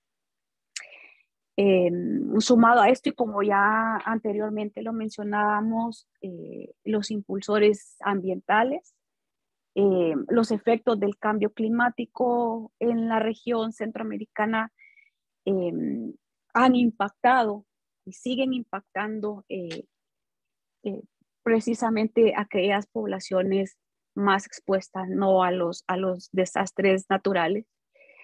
Em, y especialmente cuando eh, los medios de vida, especialmente en las áreas rurales, están amarradas a la agricultura de subsistencia, ¿no? Em, ausentes o muy lejanos a los sistemas de protección social como los como suele ser mucho más común en las áreas urbanas. Em, y también la debilidad de los mecanismos de adaptación al clima, em, la desigualdad de los ingresos y sobre todo también eh, la informalidad. Eh, del, trabajo. Me gustaría también destacar en este sentido la situación de las mujeres y las niñas en los impulsores medioambientales. De, de acuerdo a Christian Aid in Inspiration en el 2019, se establece que las dimensiones de género desempeñan un papel crucial en la configuración del nexo entre el medio ambiente y la movilidad humana, ya que las mujeres y las niñas suelen tener menos recursos para adaptarse al cambio climático y se ven afectadas de forma diferente a lo largo de todo el proceso de movilidad. Es mucho más común que se mueva el cabeza de hogar o los hombres o los varones de la familia a que la mujer que debe de permanecer en el hogar desempeñando eh, las labores tradicionales. Em, la ocurrencia de desastres afecta en diferentes dimensiones la vida de las mujeres, expresándose en muchos casos en situaciones que reproducen la desigualdad de género, la violencia física, sexual y psicológica basada en género y la exclusión. Las mujeres empleadas en la agricultura son más afectadas por la degradación ambiental. Además, eh, el género es un factor que determina el nivel de riesgo de los individuos porque los recursos dependen de las normas socioculturales. Es el hombre, el cabeza de hogar, el que administra los ingresos, ¿no? Y entonces las mujeres están ausentes a esa toma de, de decisiones. La división de los roles entre hombres y mujeres en las áreas rurales de esta región ha sido impactada por los efectos del cambio climático, incluyendo a nivel de separación familiar. Cuando uno de los miembros de los hogares emigra en busca de oportunidades de empleo, y otros quedan expuestos a los mismos riesgos. En Honduras se vive un fenómeno que muy probablemente se esté viviendo también en, en Guatemala o El Salvador, en donde en las últimas décadas el cabeza de familia, el hombre cabeza de familia, toma la decisión de emigrar a Estados Unidos y la mujer jefa de hogar eh, frecuentemente toma la decisión de emigrar a España a trabajar precisamente en servicios de cuidado. Estamos viendo entonces hogares sin papá y sin mamá al cuidado de las abuelas o de los hermanos mayores eh, y en este caso ambos padres están separados eh, eh, en países distintos. Esto también es interesante poder, poder buscar quizá algún estudio que esté analizando este fenómeno. Eh, de acuerdo a un estudio de la OIM, del SICA y el CCAD del 2021, con relación a los niños y niñas se observó a través de estudios base que en los últimos años la sequía ha causado el aumento del número de menores que viajan no acompañados, enfrentando todos los riesgos que la migración implica. Esto, pues, eh, constituye un escenario preocupante, dada la extrema vulnerabilidad de este grupo ya como se ha planteado eh, anteriormente en, el país. Ante también los factores ambientales eh, climáticos que impulsan la movilidad humana, es preciso ahondar en la generación de información eh, desagregada que nutre las políticas públicas integrales en materia migratoria y que vaya más allá de identificar los factores como la violencia y la búsqueda de oportunidades económicas eh, y también profundizar en los determinantes eh, climáticos de la migración. Otro factor determinante es la pobreza. Eh, como lo dice el estudio del grupo de trabajo, para casi todos la pobreza y la pérdida de esperanza de que las condiciones mejoren son factores que influyen en su decisión de desplazarse. De acuerdo a la encuesta de percepción sobre inseguridad ciudadana y victimización del UPAS de la Universidad Autónoma de Honduras de 2019, en el 65% de los encuestados en un escenario prepandemia conocía a alguien cercano que había emigrado del país en los últimos 12 meses. Y el 17% de los encuestados tenía planes de emigrar en los próximos 12 meses. Em, esta encuesta nos reflejaba ya en, en el 2019 que el 78.3 de la población que deseaba emigrar era por razones económicas, 8.3 por la inseguridad del país, 5.5% para buscar la reunificación familiar y 2.9% por alguna oferta laboral. También las, la encuesta nos reflejaba que ser víctima de algún hecho delictivo aumentaba en 10.8 puntos porcentuales el deseo de emigrar del país en relación a aquellas personas que no han sido víctimas. Eh, otro de los factores determinantes eh, de la migración es la debilidad del Estado de Derecho o la pérdida de confianza en las instituciones. Ya el estudio eh, y el reporte reflejaba los datos del Latino Barómetro, eh, que reportaba un deterioro significativo en la confianza institucional entre 2014 a 2019 en América Latina, señalando que las tasas de confianza en las instituciones existentes son 63% expresó confianza en la iglesia o las iglesias, lo que nos remite también al rol de las organizaciones comunitarias o de sociedad civil. El 44% en la policía, 28% en las instituciones electorales, 24% en las autoridades judiciales, 22% en el gobierno, 21% en el Congreso y 13% en partidos políticos. Eh, en este sentido, también la percepción de impunidad eh, es uno de los determinantes de la toma de decisiones para migrar, para desplazarse. Por eso el fortalecimiento del Estado de Derecho es fundamental para erradicar la corrupción, hacer frente a la violencia criminal y promover el crecimiento económico.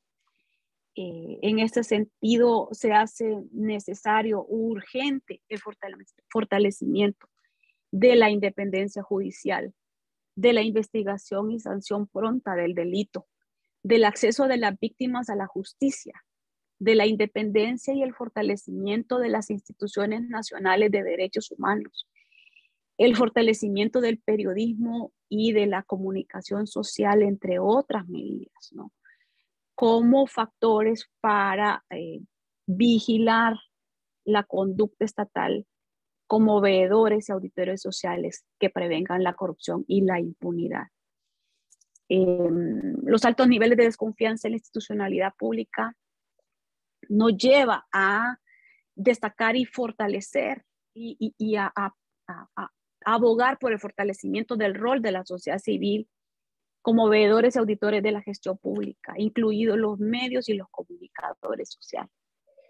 Em, gracias al, extenso y, profundo eh, trabajo de este grupo de trabajo, em, que ha aportado eh, ideas novedosas pero también pragmáticas, eh, yo me permito también compartir quizá algunos apuntes finales derivados pues de la lectura de los, de los reportes.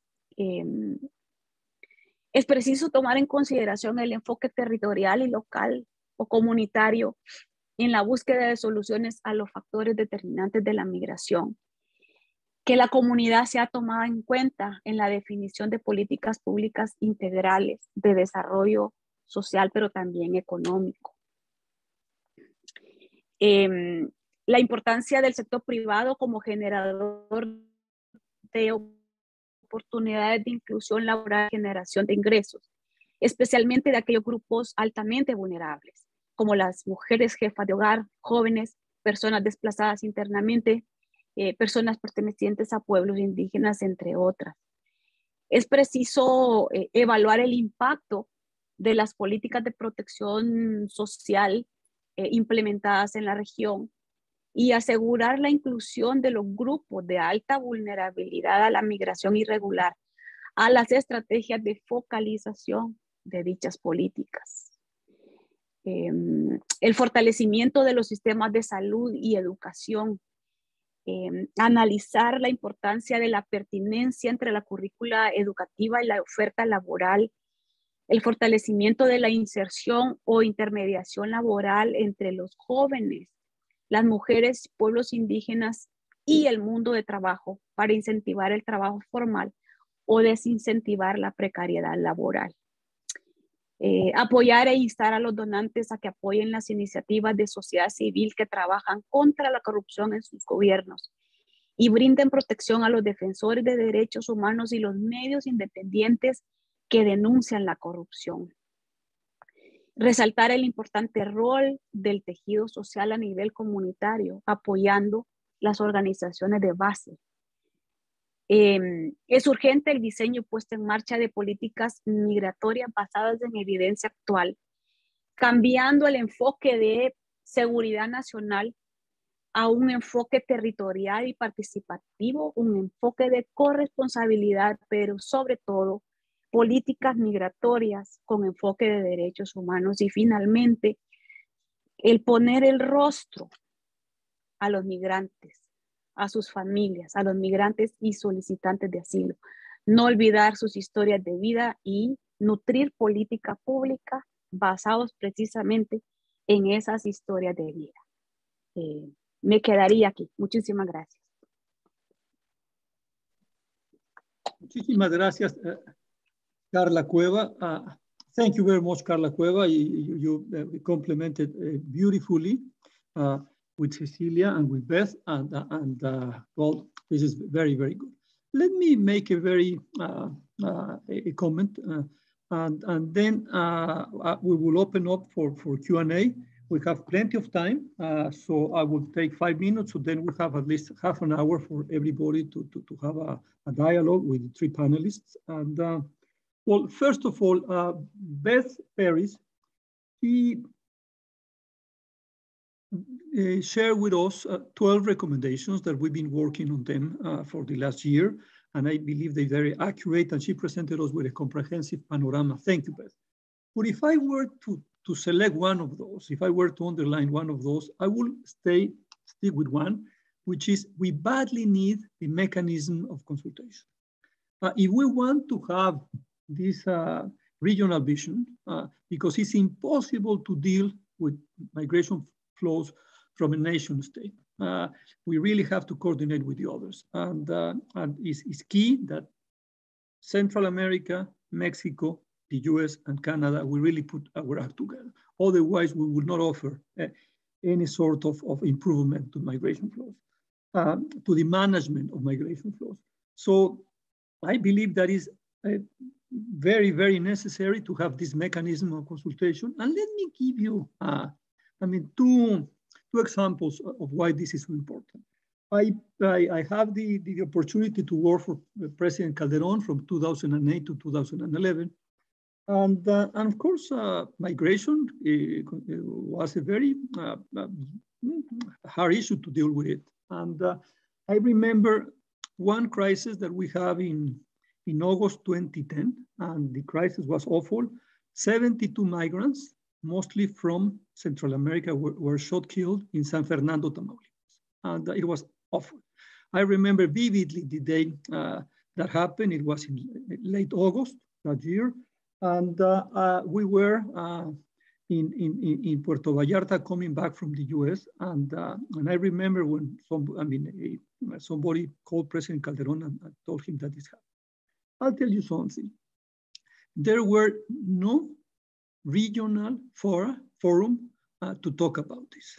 Uh, eventually, just two and a half months later, uh, the Mexican Foreign Ministry put together a, a, a, a meeting by the uh, Conferencia Regional de Migración, the, the, the, the, Conference of Regional Migration. And I'll tell you, by then, Mexico was very defensive. Uh, by then, uh, I would say Mexico was able to dilute its responsibility in this awful act. But there were no other fora to be able to, to, to talk about this and to make sure that this will not happen again. I'll tell you something. Like five months before this happened, the delegation from El Salvador, the government, came to Mexico City and they aware us. You know, we, we, we've seen a lot of violence against migrants. we're fearful that a bad event could happen, and it suddenly happened uh, in San Fernando, Tamaulipas. Uh, so we badly need a place in which we Latin Americans could talk. So then we be able to uh, uh, make sure that this will not happen again. But then you might think that then Mexico has a lot of uh dialogue with the US. Not really. You wouldn't believe this. But uh, President Calderon uh, dealt four years with Barack Obama, and, and I'll tell you, we thought that Barack Obama was going to be, I mean, he was uh, someone who was very, I mean, he wanted to pass immigration reform.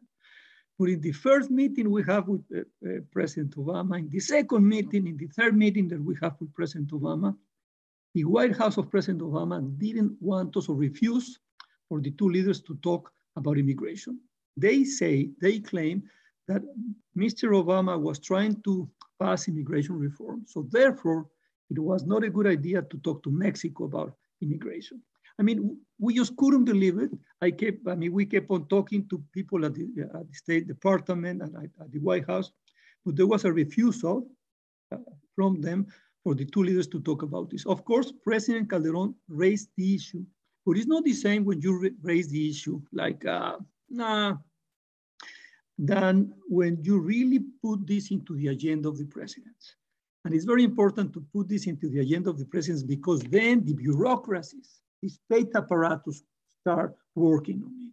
So, I mean, there were scarce dialogue, but, but I'll tell you. So, and then, for example, yes, President Trump talked to Andres Manuel López Obrador and to Peña Nieto about immigration, but he did it in a very specific way. He basically threatened Mexico, for example, uh, to put uh, uh to create these barriers for Mexican trade into the US. So the talks were not about how to improve migration flows, uh, but it was about how can Mexico could help the US detaining Central Americans because otherwise Mexico would be subject to higher tariffs. And he was threatening Mexico to put tariffs all the way to 25%, which would have been devastating for the Mexican economy. So that is why I believe it's very necessary to have a mechanism of consultation and we're offering the possibility of doing one. Then let me say something about, uh, about uh, Cecilia Menjivar's presentation. Uh, Cecilia, I love the way uh, you classify the state in the sending state, in the transit state, and the receiving state.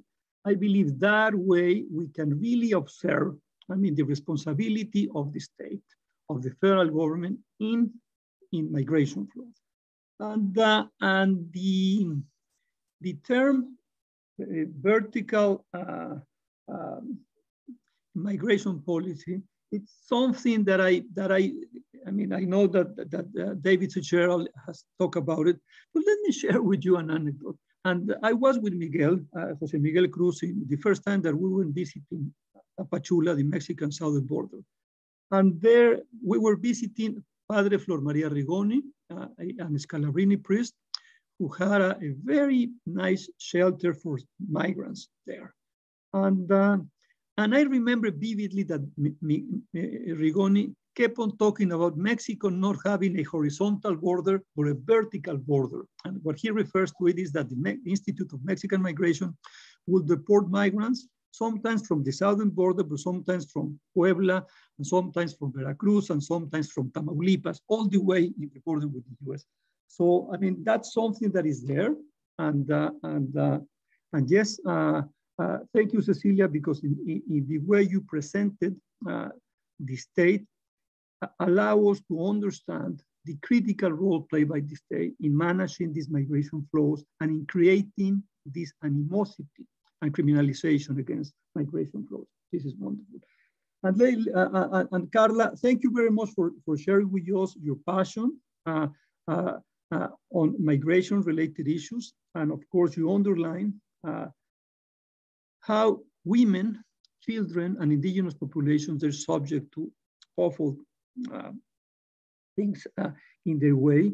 I remember vividly, again, I believe in one of my trips to the southern border, uh, when, when we have La Bestia coming, I mean, the train, the cargo train that will transport uh, migrants Uh, at the time, La Bestia was coming to uh, through Tamauli, uh, to Tapachula, and that, that is only 30 kilometers away from the US, from the Mexico-Guatemala border. And I remember vividly there, and perhaps Jose Miguel will remember this, we, we saw a young woman, and we talked to, to her from Honduras, a mulata, uh, a beautiful 17-year-old woman that she was shaking, and she was very scared because she was there waiting for the train, and she told us that she was coming to visit, trying to come all the way to Tennessee. Didn't know where was really Tennessee all about because uh, she told us her husband was there. And, uh, and it was, uh, and she was trembling because she told us that it took her about 10 days to come from Honduras to Tapachula. And, uh, and then when she arrived in Tapachula early that morning, a woman asked her if she could, uh, if she wanted to have a bath in her place. So she bathed in her place. She took a shower there. Then this woman feed her, but then she took her into a, into a, a prostitution house. So, and then she fled that place and she was waiting for La Bestia, very nervous uh, and shaking because she thought that perhaps that woman or someone else could come and get her. And uh, it was very telling for us, and thank you, Karla, for reminding us that we have to put face to minus. Uh, we're talking about large numbers, and, uh, and, that's, uh, and that's not enough. Uh. and finally, I mean, to finish my, my, my, my, my comment, let me tell you that now there's a very, we have a very complex situation in the US-Mexico border. Just last week in Tijuana, was one of the one of the many cities in the US-Mexico border, this 2,000 mile border. Last week, there were landing in the Tijuana airport 2,000 Ukrainians. That's the figure of the migration uh, uh, the, uh, institute, uh, migration institute. And uh, they say at least there were 2,000. And you know what's happening with them? They land there and immediately they catch a cab, they come into the US and the US authorities are basically welcoming there. I mean, it's, uh, I understand, and I'm glad this is happening to Ukrainians. President Biden has said that the US will accept until 100,000 Ukrainians. And it's wonderful because it's so bad what is happening there. And there's already about 9 million of people displaced in, in, in Ukraine, uh, about five going outside Ukraine and about four still staying in, in, in Ukraine. But you know, the problem we have in the border that there's Central Americans, there's Cubans, there's Venezuelans, there's uh, Russians that they've been waiting in Tijuana for months. So why all of a sudden Ukrainians are coming into the US? So we badly need to talk about these issues. And it's not only Mexico, it is the US and it's Canada because we have to put our act in order. So thank you very much. Again, Cecilia, Beth, and, uh, and Karla, the floor is open. I believe that this is, I mean, uh, in the Q&A, we I believe we have already some questions. And you tell me, Miguel, how can how can we get some more questions? I believe it's, through the Q&A. Yes, yes, through a Q&A. So anybody wanted to make a question, you have, please use the Q&A uh, to address uh, our panelists. And we have, I think, three questions. Yeah, we have two questions. Uh, uh, uh Carlos Carpio is asking, is asking you, uh, panelists, where do we begin? Lots of things to do because there are lots of drivers of migration for example, economic growth and strengthening of institutions will take years. Where do we start in the short run while working on the long-term ch changes? And let me ask an another one, and, and, then I'll give you the floor uh, to the three of you. Uh, and this is uh, J. Colon, Colon Burgos. Does the task force have the ear of the presidents of the United States, Mexico, Canada, and the Northern Triangle? Well, Beth could talk about that and I will say something after Beth talks and perhaps if you, Miguel, want to, to say something. So floor is open. Why don't we start with, uh, if it's fine with you, why don't we start with Beth and then we'll go in the same order to Cecilia and to Carl.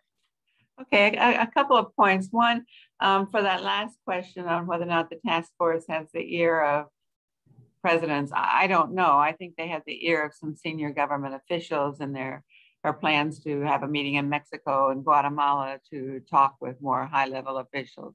Um, in the United States, I think that the uh, Kamala Harris's office is certainly aware of our work and we have channels to provide that to her and other senior officials. But, but also related to the, the first question, that is, you know, there are a lot of recommendations um, that can be carried out by different actors. This isn't just the responsibility of states. And so I think we need to think about parallel tracks of, you know, civil society really pressing hard on some of the corruption issues in terms of, you know, governments developing these alternative migration pathways. They can happen at the same time. Your fundamental point is absolutely correct, though, and that some of these are, are longer term and you know, our diplomats aren't known for great patience to wait for some of these changes to take effect and the need over and over again for political will to implement some of these some of these questions. Um, to pick up on what Rafael said as well, uh, the urgent need for consultation on a whole range of migration related issues. It's sometimes shocking to see governments developing these policies in isolation from one another when they're all interconnected. I mean, labor migration, for example, being determined by uh, Canadian and US officials and not knowing which direction they're going in, you could have a lot of duplication or inadequate um, coverage for, for certain groups of workers. So there, I mean, I, I think that was the idea behind the proposal for this, this, this council to you know, have working groups and to really engage in consultation on lots of levels. And finally, Rafael, the, the point you made about discrimination and treatment of asylum seekers is certainly reverberating in the, in the global humanitarian world. I mean, as everybody rejoices in the openness and welcome for Ukrainians, as you say, they're facing a terrible situation and they they deserve to be warmly welcomed into countries that are receiving them. But so are other refugees and asylum seekers from countries where the, levels of violence are very, very high. So I think that the whole Ukrainian situation is show, you know, shining a spotlight on some of the discrepancies and injustices in all of our systems of asylum. Thank you, Beth. This is very good. Cecilia, please. Yes, um, thank you. Thank you so much for your comments, Rafael. And I want to um, follow up on one thing that um, Karla mentioned, and it's very important because I called attention to what states do, collaborations at that level. But one thing that I also have found from my research in the region is the incredible and critical role of civil society organizations. So I want to absolutely support Karla's point because it is very often they are the only ones doing something. It's on, it's very often it's women's rights groups, other civil society organizations that are doing something. So, for instance, one thing that uh, uh, one response about what can be done could be to um, to support the work of civil society organizations give them funds um, to support what they do because it's very often um, they're the only ones. Um, they accompany women to to file um, uh, uh, claims um, for for violence. They they they do work on the ground. So I want to absolutely emphasize that uh, um, Karla's point along those lines. Civil society is key here um, in, in how we think about what we can do. Um, excuse me. Um, regarding, um, yes, Rafael, you, you, you, you touched on a, on a critical point um, about the discrepancies in how people are received um, around the world, how different groups are received around the world, and um, and following Elizabeth's um, comment, um, the the Ukrainian group has shined a light on the stark contrast because um, the same the same country is is is providing very different very different um, a very different narrative which activates different policy responses to for instance syrians and ukrainians in in europe. Um, poland on the one hand, receives Ukrainians in one way, classifies them in one way, but at the same time, rejects Iraqis. It, the same country does both. Um, and so, and we see this around the world. We see the activation of the temporary protected directive in the European Union for um, Ukrainians at the same time that Syrians and Iraqis are being spelled out or keeping um, African migrants contained in transit countries. So we see this very stark contrast in how, um, how the receiving countries, the wealthy receiving countries are classifying immigrants and how those classifications activate certain policy responses. In the United States, um, Ukrainians receive temporary protected status in nine days, whereas Central Americans, um, Salvadorians, and Hondurans who have been on temporary protected status for 20 plus years are being threatened to with ending that status. At the same time, the Ukrainians received it in nine days. What explains these discrepancies? I think we have to think of foreign policy here. The importance of this of, of foreign policy in responding to these to, to these um, to these migratory flows. With the United States, of course, there are relations with Russia. With um, the European Union, again, is a historic connection with Russia and how they see Russia. Um, with um, the United States and Central America, foreign policy, of course, plays a central role. So I think attention to foreign policy um, starts to unveil some of the um, and, and, provide and reveal um, quest, uh, answers to this stark contrast that um, that we are leaning today. So thank you, Rafael, for bringing that up because um, I was going to mention it, but then I didn't want to distract attention from the Central American point. But it is crucial that we think um, about um, foreign policy as it plays a role in how refugees and asylum seekers are received. Central Americans have had this, have lived this for 40 years because since the 1980s, Central Americans have been denied the um, status of, um, have never been classified as refugees and only a small percentage, I think, um, Elizabeth, you did some work on this early on um, that I have used in my own work. Um, so, um, so we know that Central Americans have, have always had this ambivalent reception in the United States, which is tied to foreign policy in Central America. So that's all I wanted to say. But thank you, all of you. This is such a fruitful conversation. Thank you, Cecilia. Uh, Karla, please. Yes, I want to add on the question of where do we start? How do we start? I think uh, first of all, um, we have to gain allies to this to this struggle. No, um, one of the best steps I think it's this discussion, this conference, understanding in deep the, the, the issue, the, the problems, but also the characterization of the migration from Central America or from the Americas to the United States. Um, I think um, we have an asset in Central America. We have a very strong civil society. I think we are the region where the civil society is active and uh, also have achievements in some issues. For instance, in anti-corruption issues, civil society has been very active, no?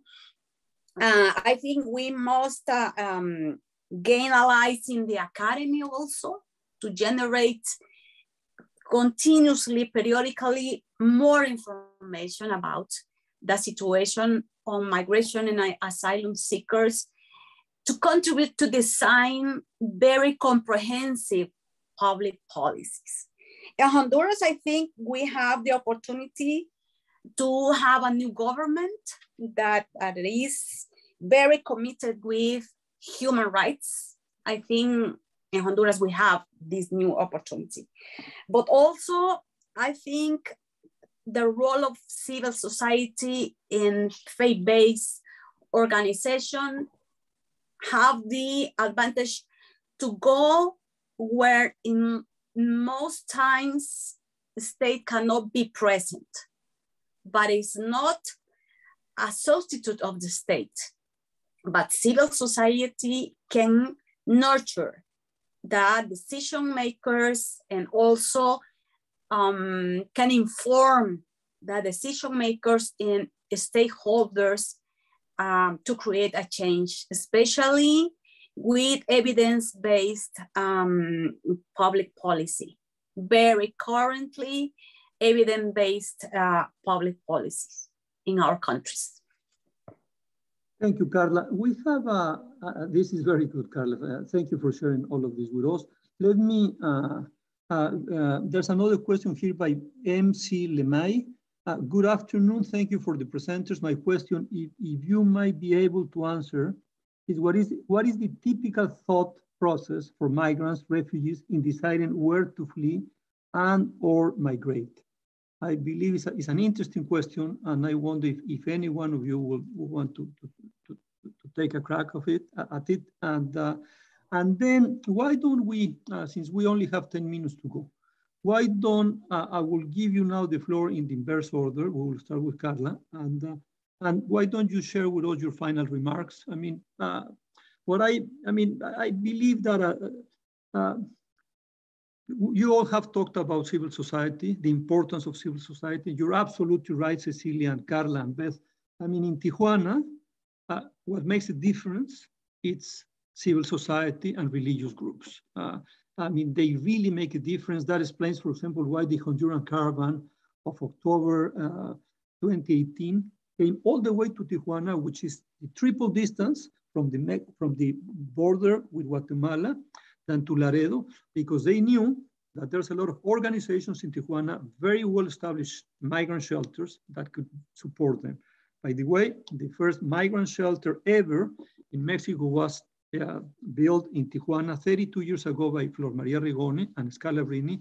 And then he had another uh, shelter in Ciudad Juarez. And then he was for 20 years uh, in, Tapachula, Chiapas. And now, and now you know where he is? Well, he's in a very intense place of immigration, which is now Colombia, and basically he helping Venezuelans, which are Venezuelans. So the, the Scalabrines, they, they, they, do really make a difference. So I wonder if you could tell us about, I mean, what would be your recommendations about civil society? Cecilia, what about, I mean, if you were going to, to advise a government, uh, now that we have a new president in Honduras, uh, what will be the one or two things that we will uh, advise her to do? So why don't we start with you, Karla, then we'll go uh, uh, to Cecilia and we'll finish with, uh, with Beth. And thank you again for these wonderful presentations and, and you gave us a, a, a comprehensive panorama that I believe it's, it, it's wonderful for everybody listening to him. And hopefully, Jose Miguel, I mean, there's going to be a summary of this because I believe uh, we really have uh, uh, got outstanding ideas here about how to better manage migration flows. Adelante, Karla, please. Well, I think uh, my first advice for the new government is to put the spotlights in grassroots organizations because it's very frequent to work with on a national, very extensive organization, but it is in territory. It is in those communities where people are taking the decision to migrate that you can make a change. You can identify the people that is taking the decision.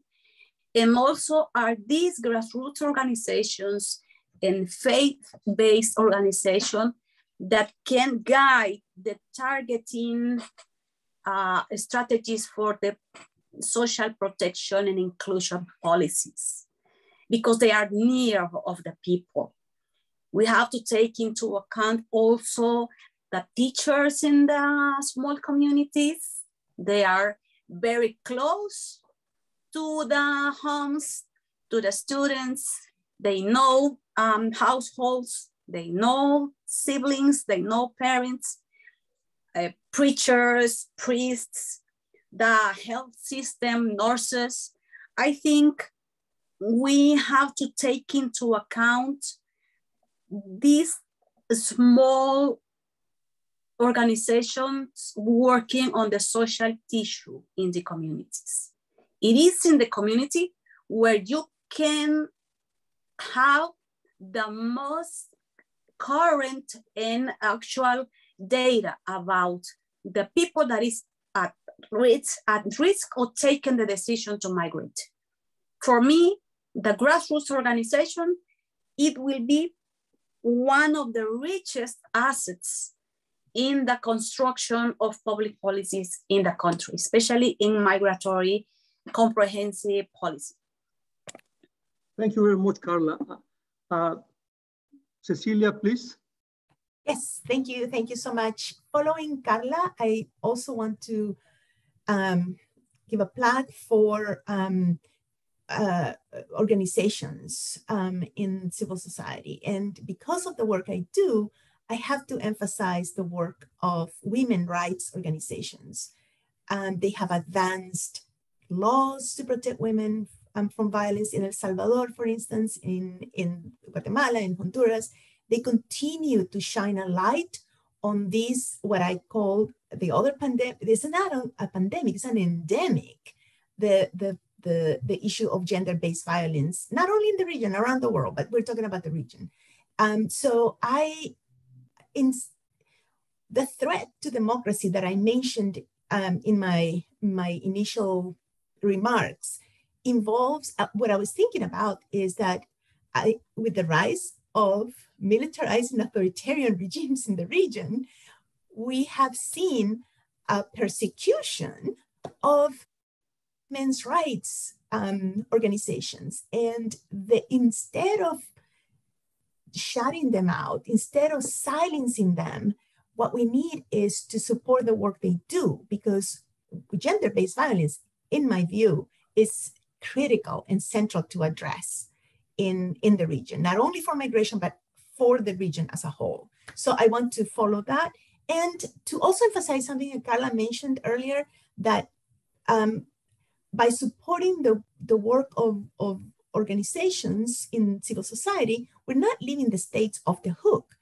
It is um, a coordinated effort that um, because civil society groups can work until they turn blue and not and they don't have the formal um, the formal power that the state has. So it has to be a coordinated effort, but to centrally give attention to what um, organizations do.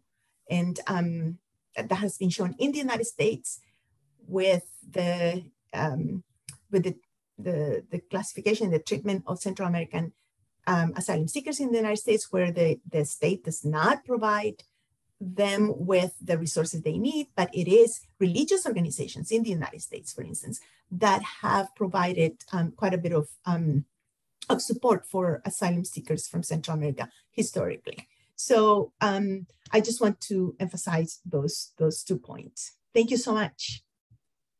Thank you, Cecilia. Um, oh. Excuse me, excuse me, excuse me. Oh and these are sometimes, and if you think it's, it's here, everything is live. I'm sorry.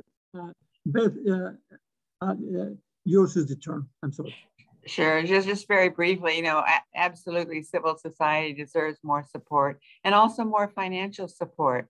You know, studies by local groups in Central America show that, you know, less than 3% of uh, millions and millions of dollars in USAID funds goes directly to local organizations.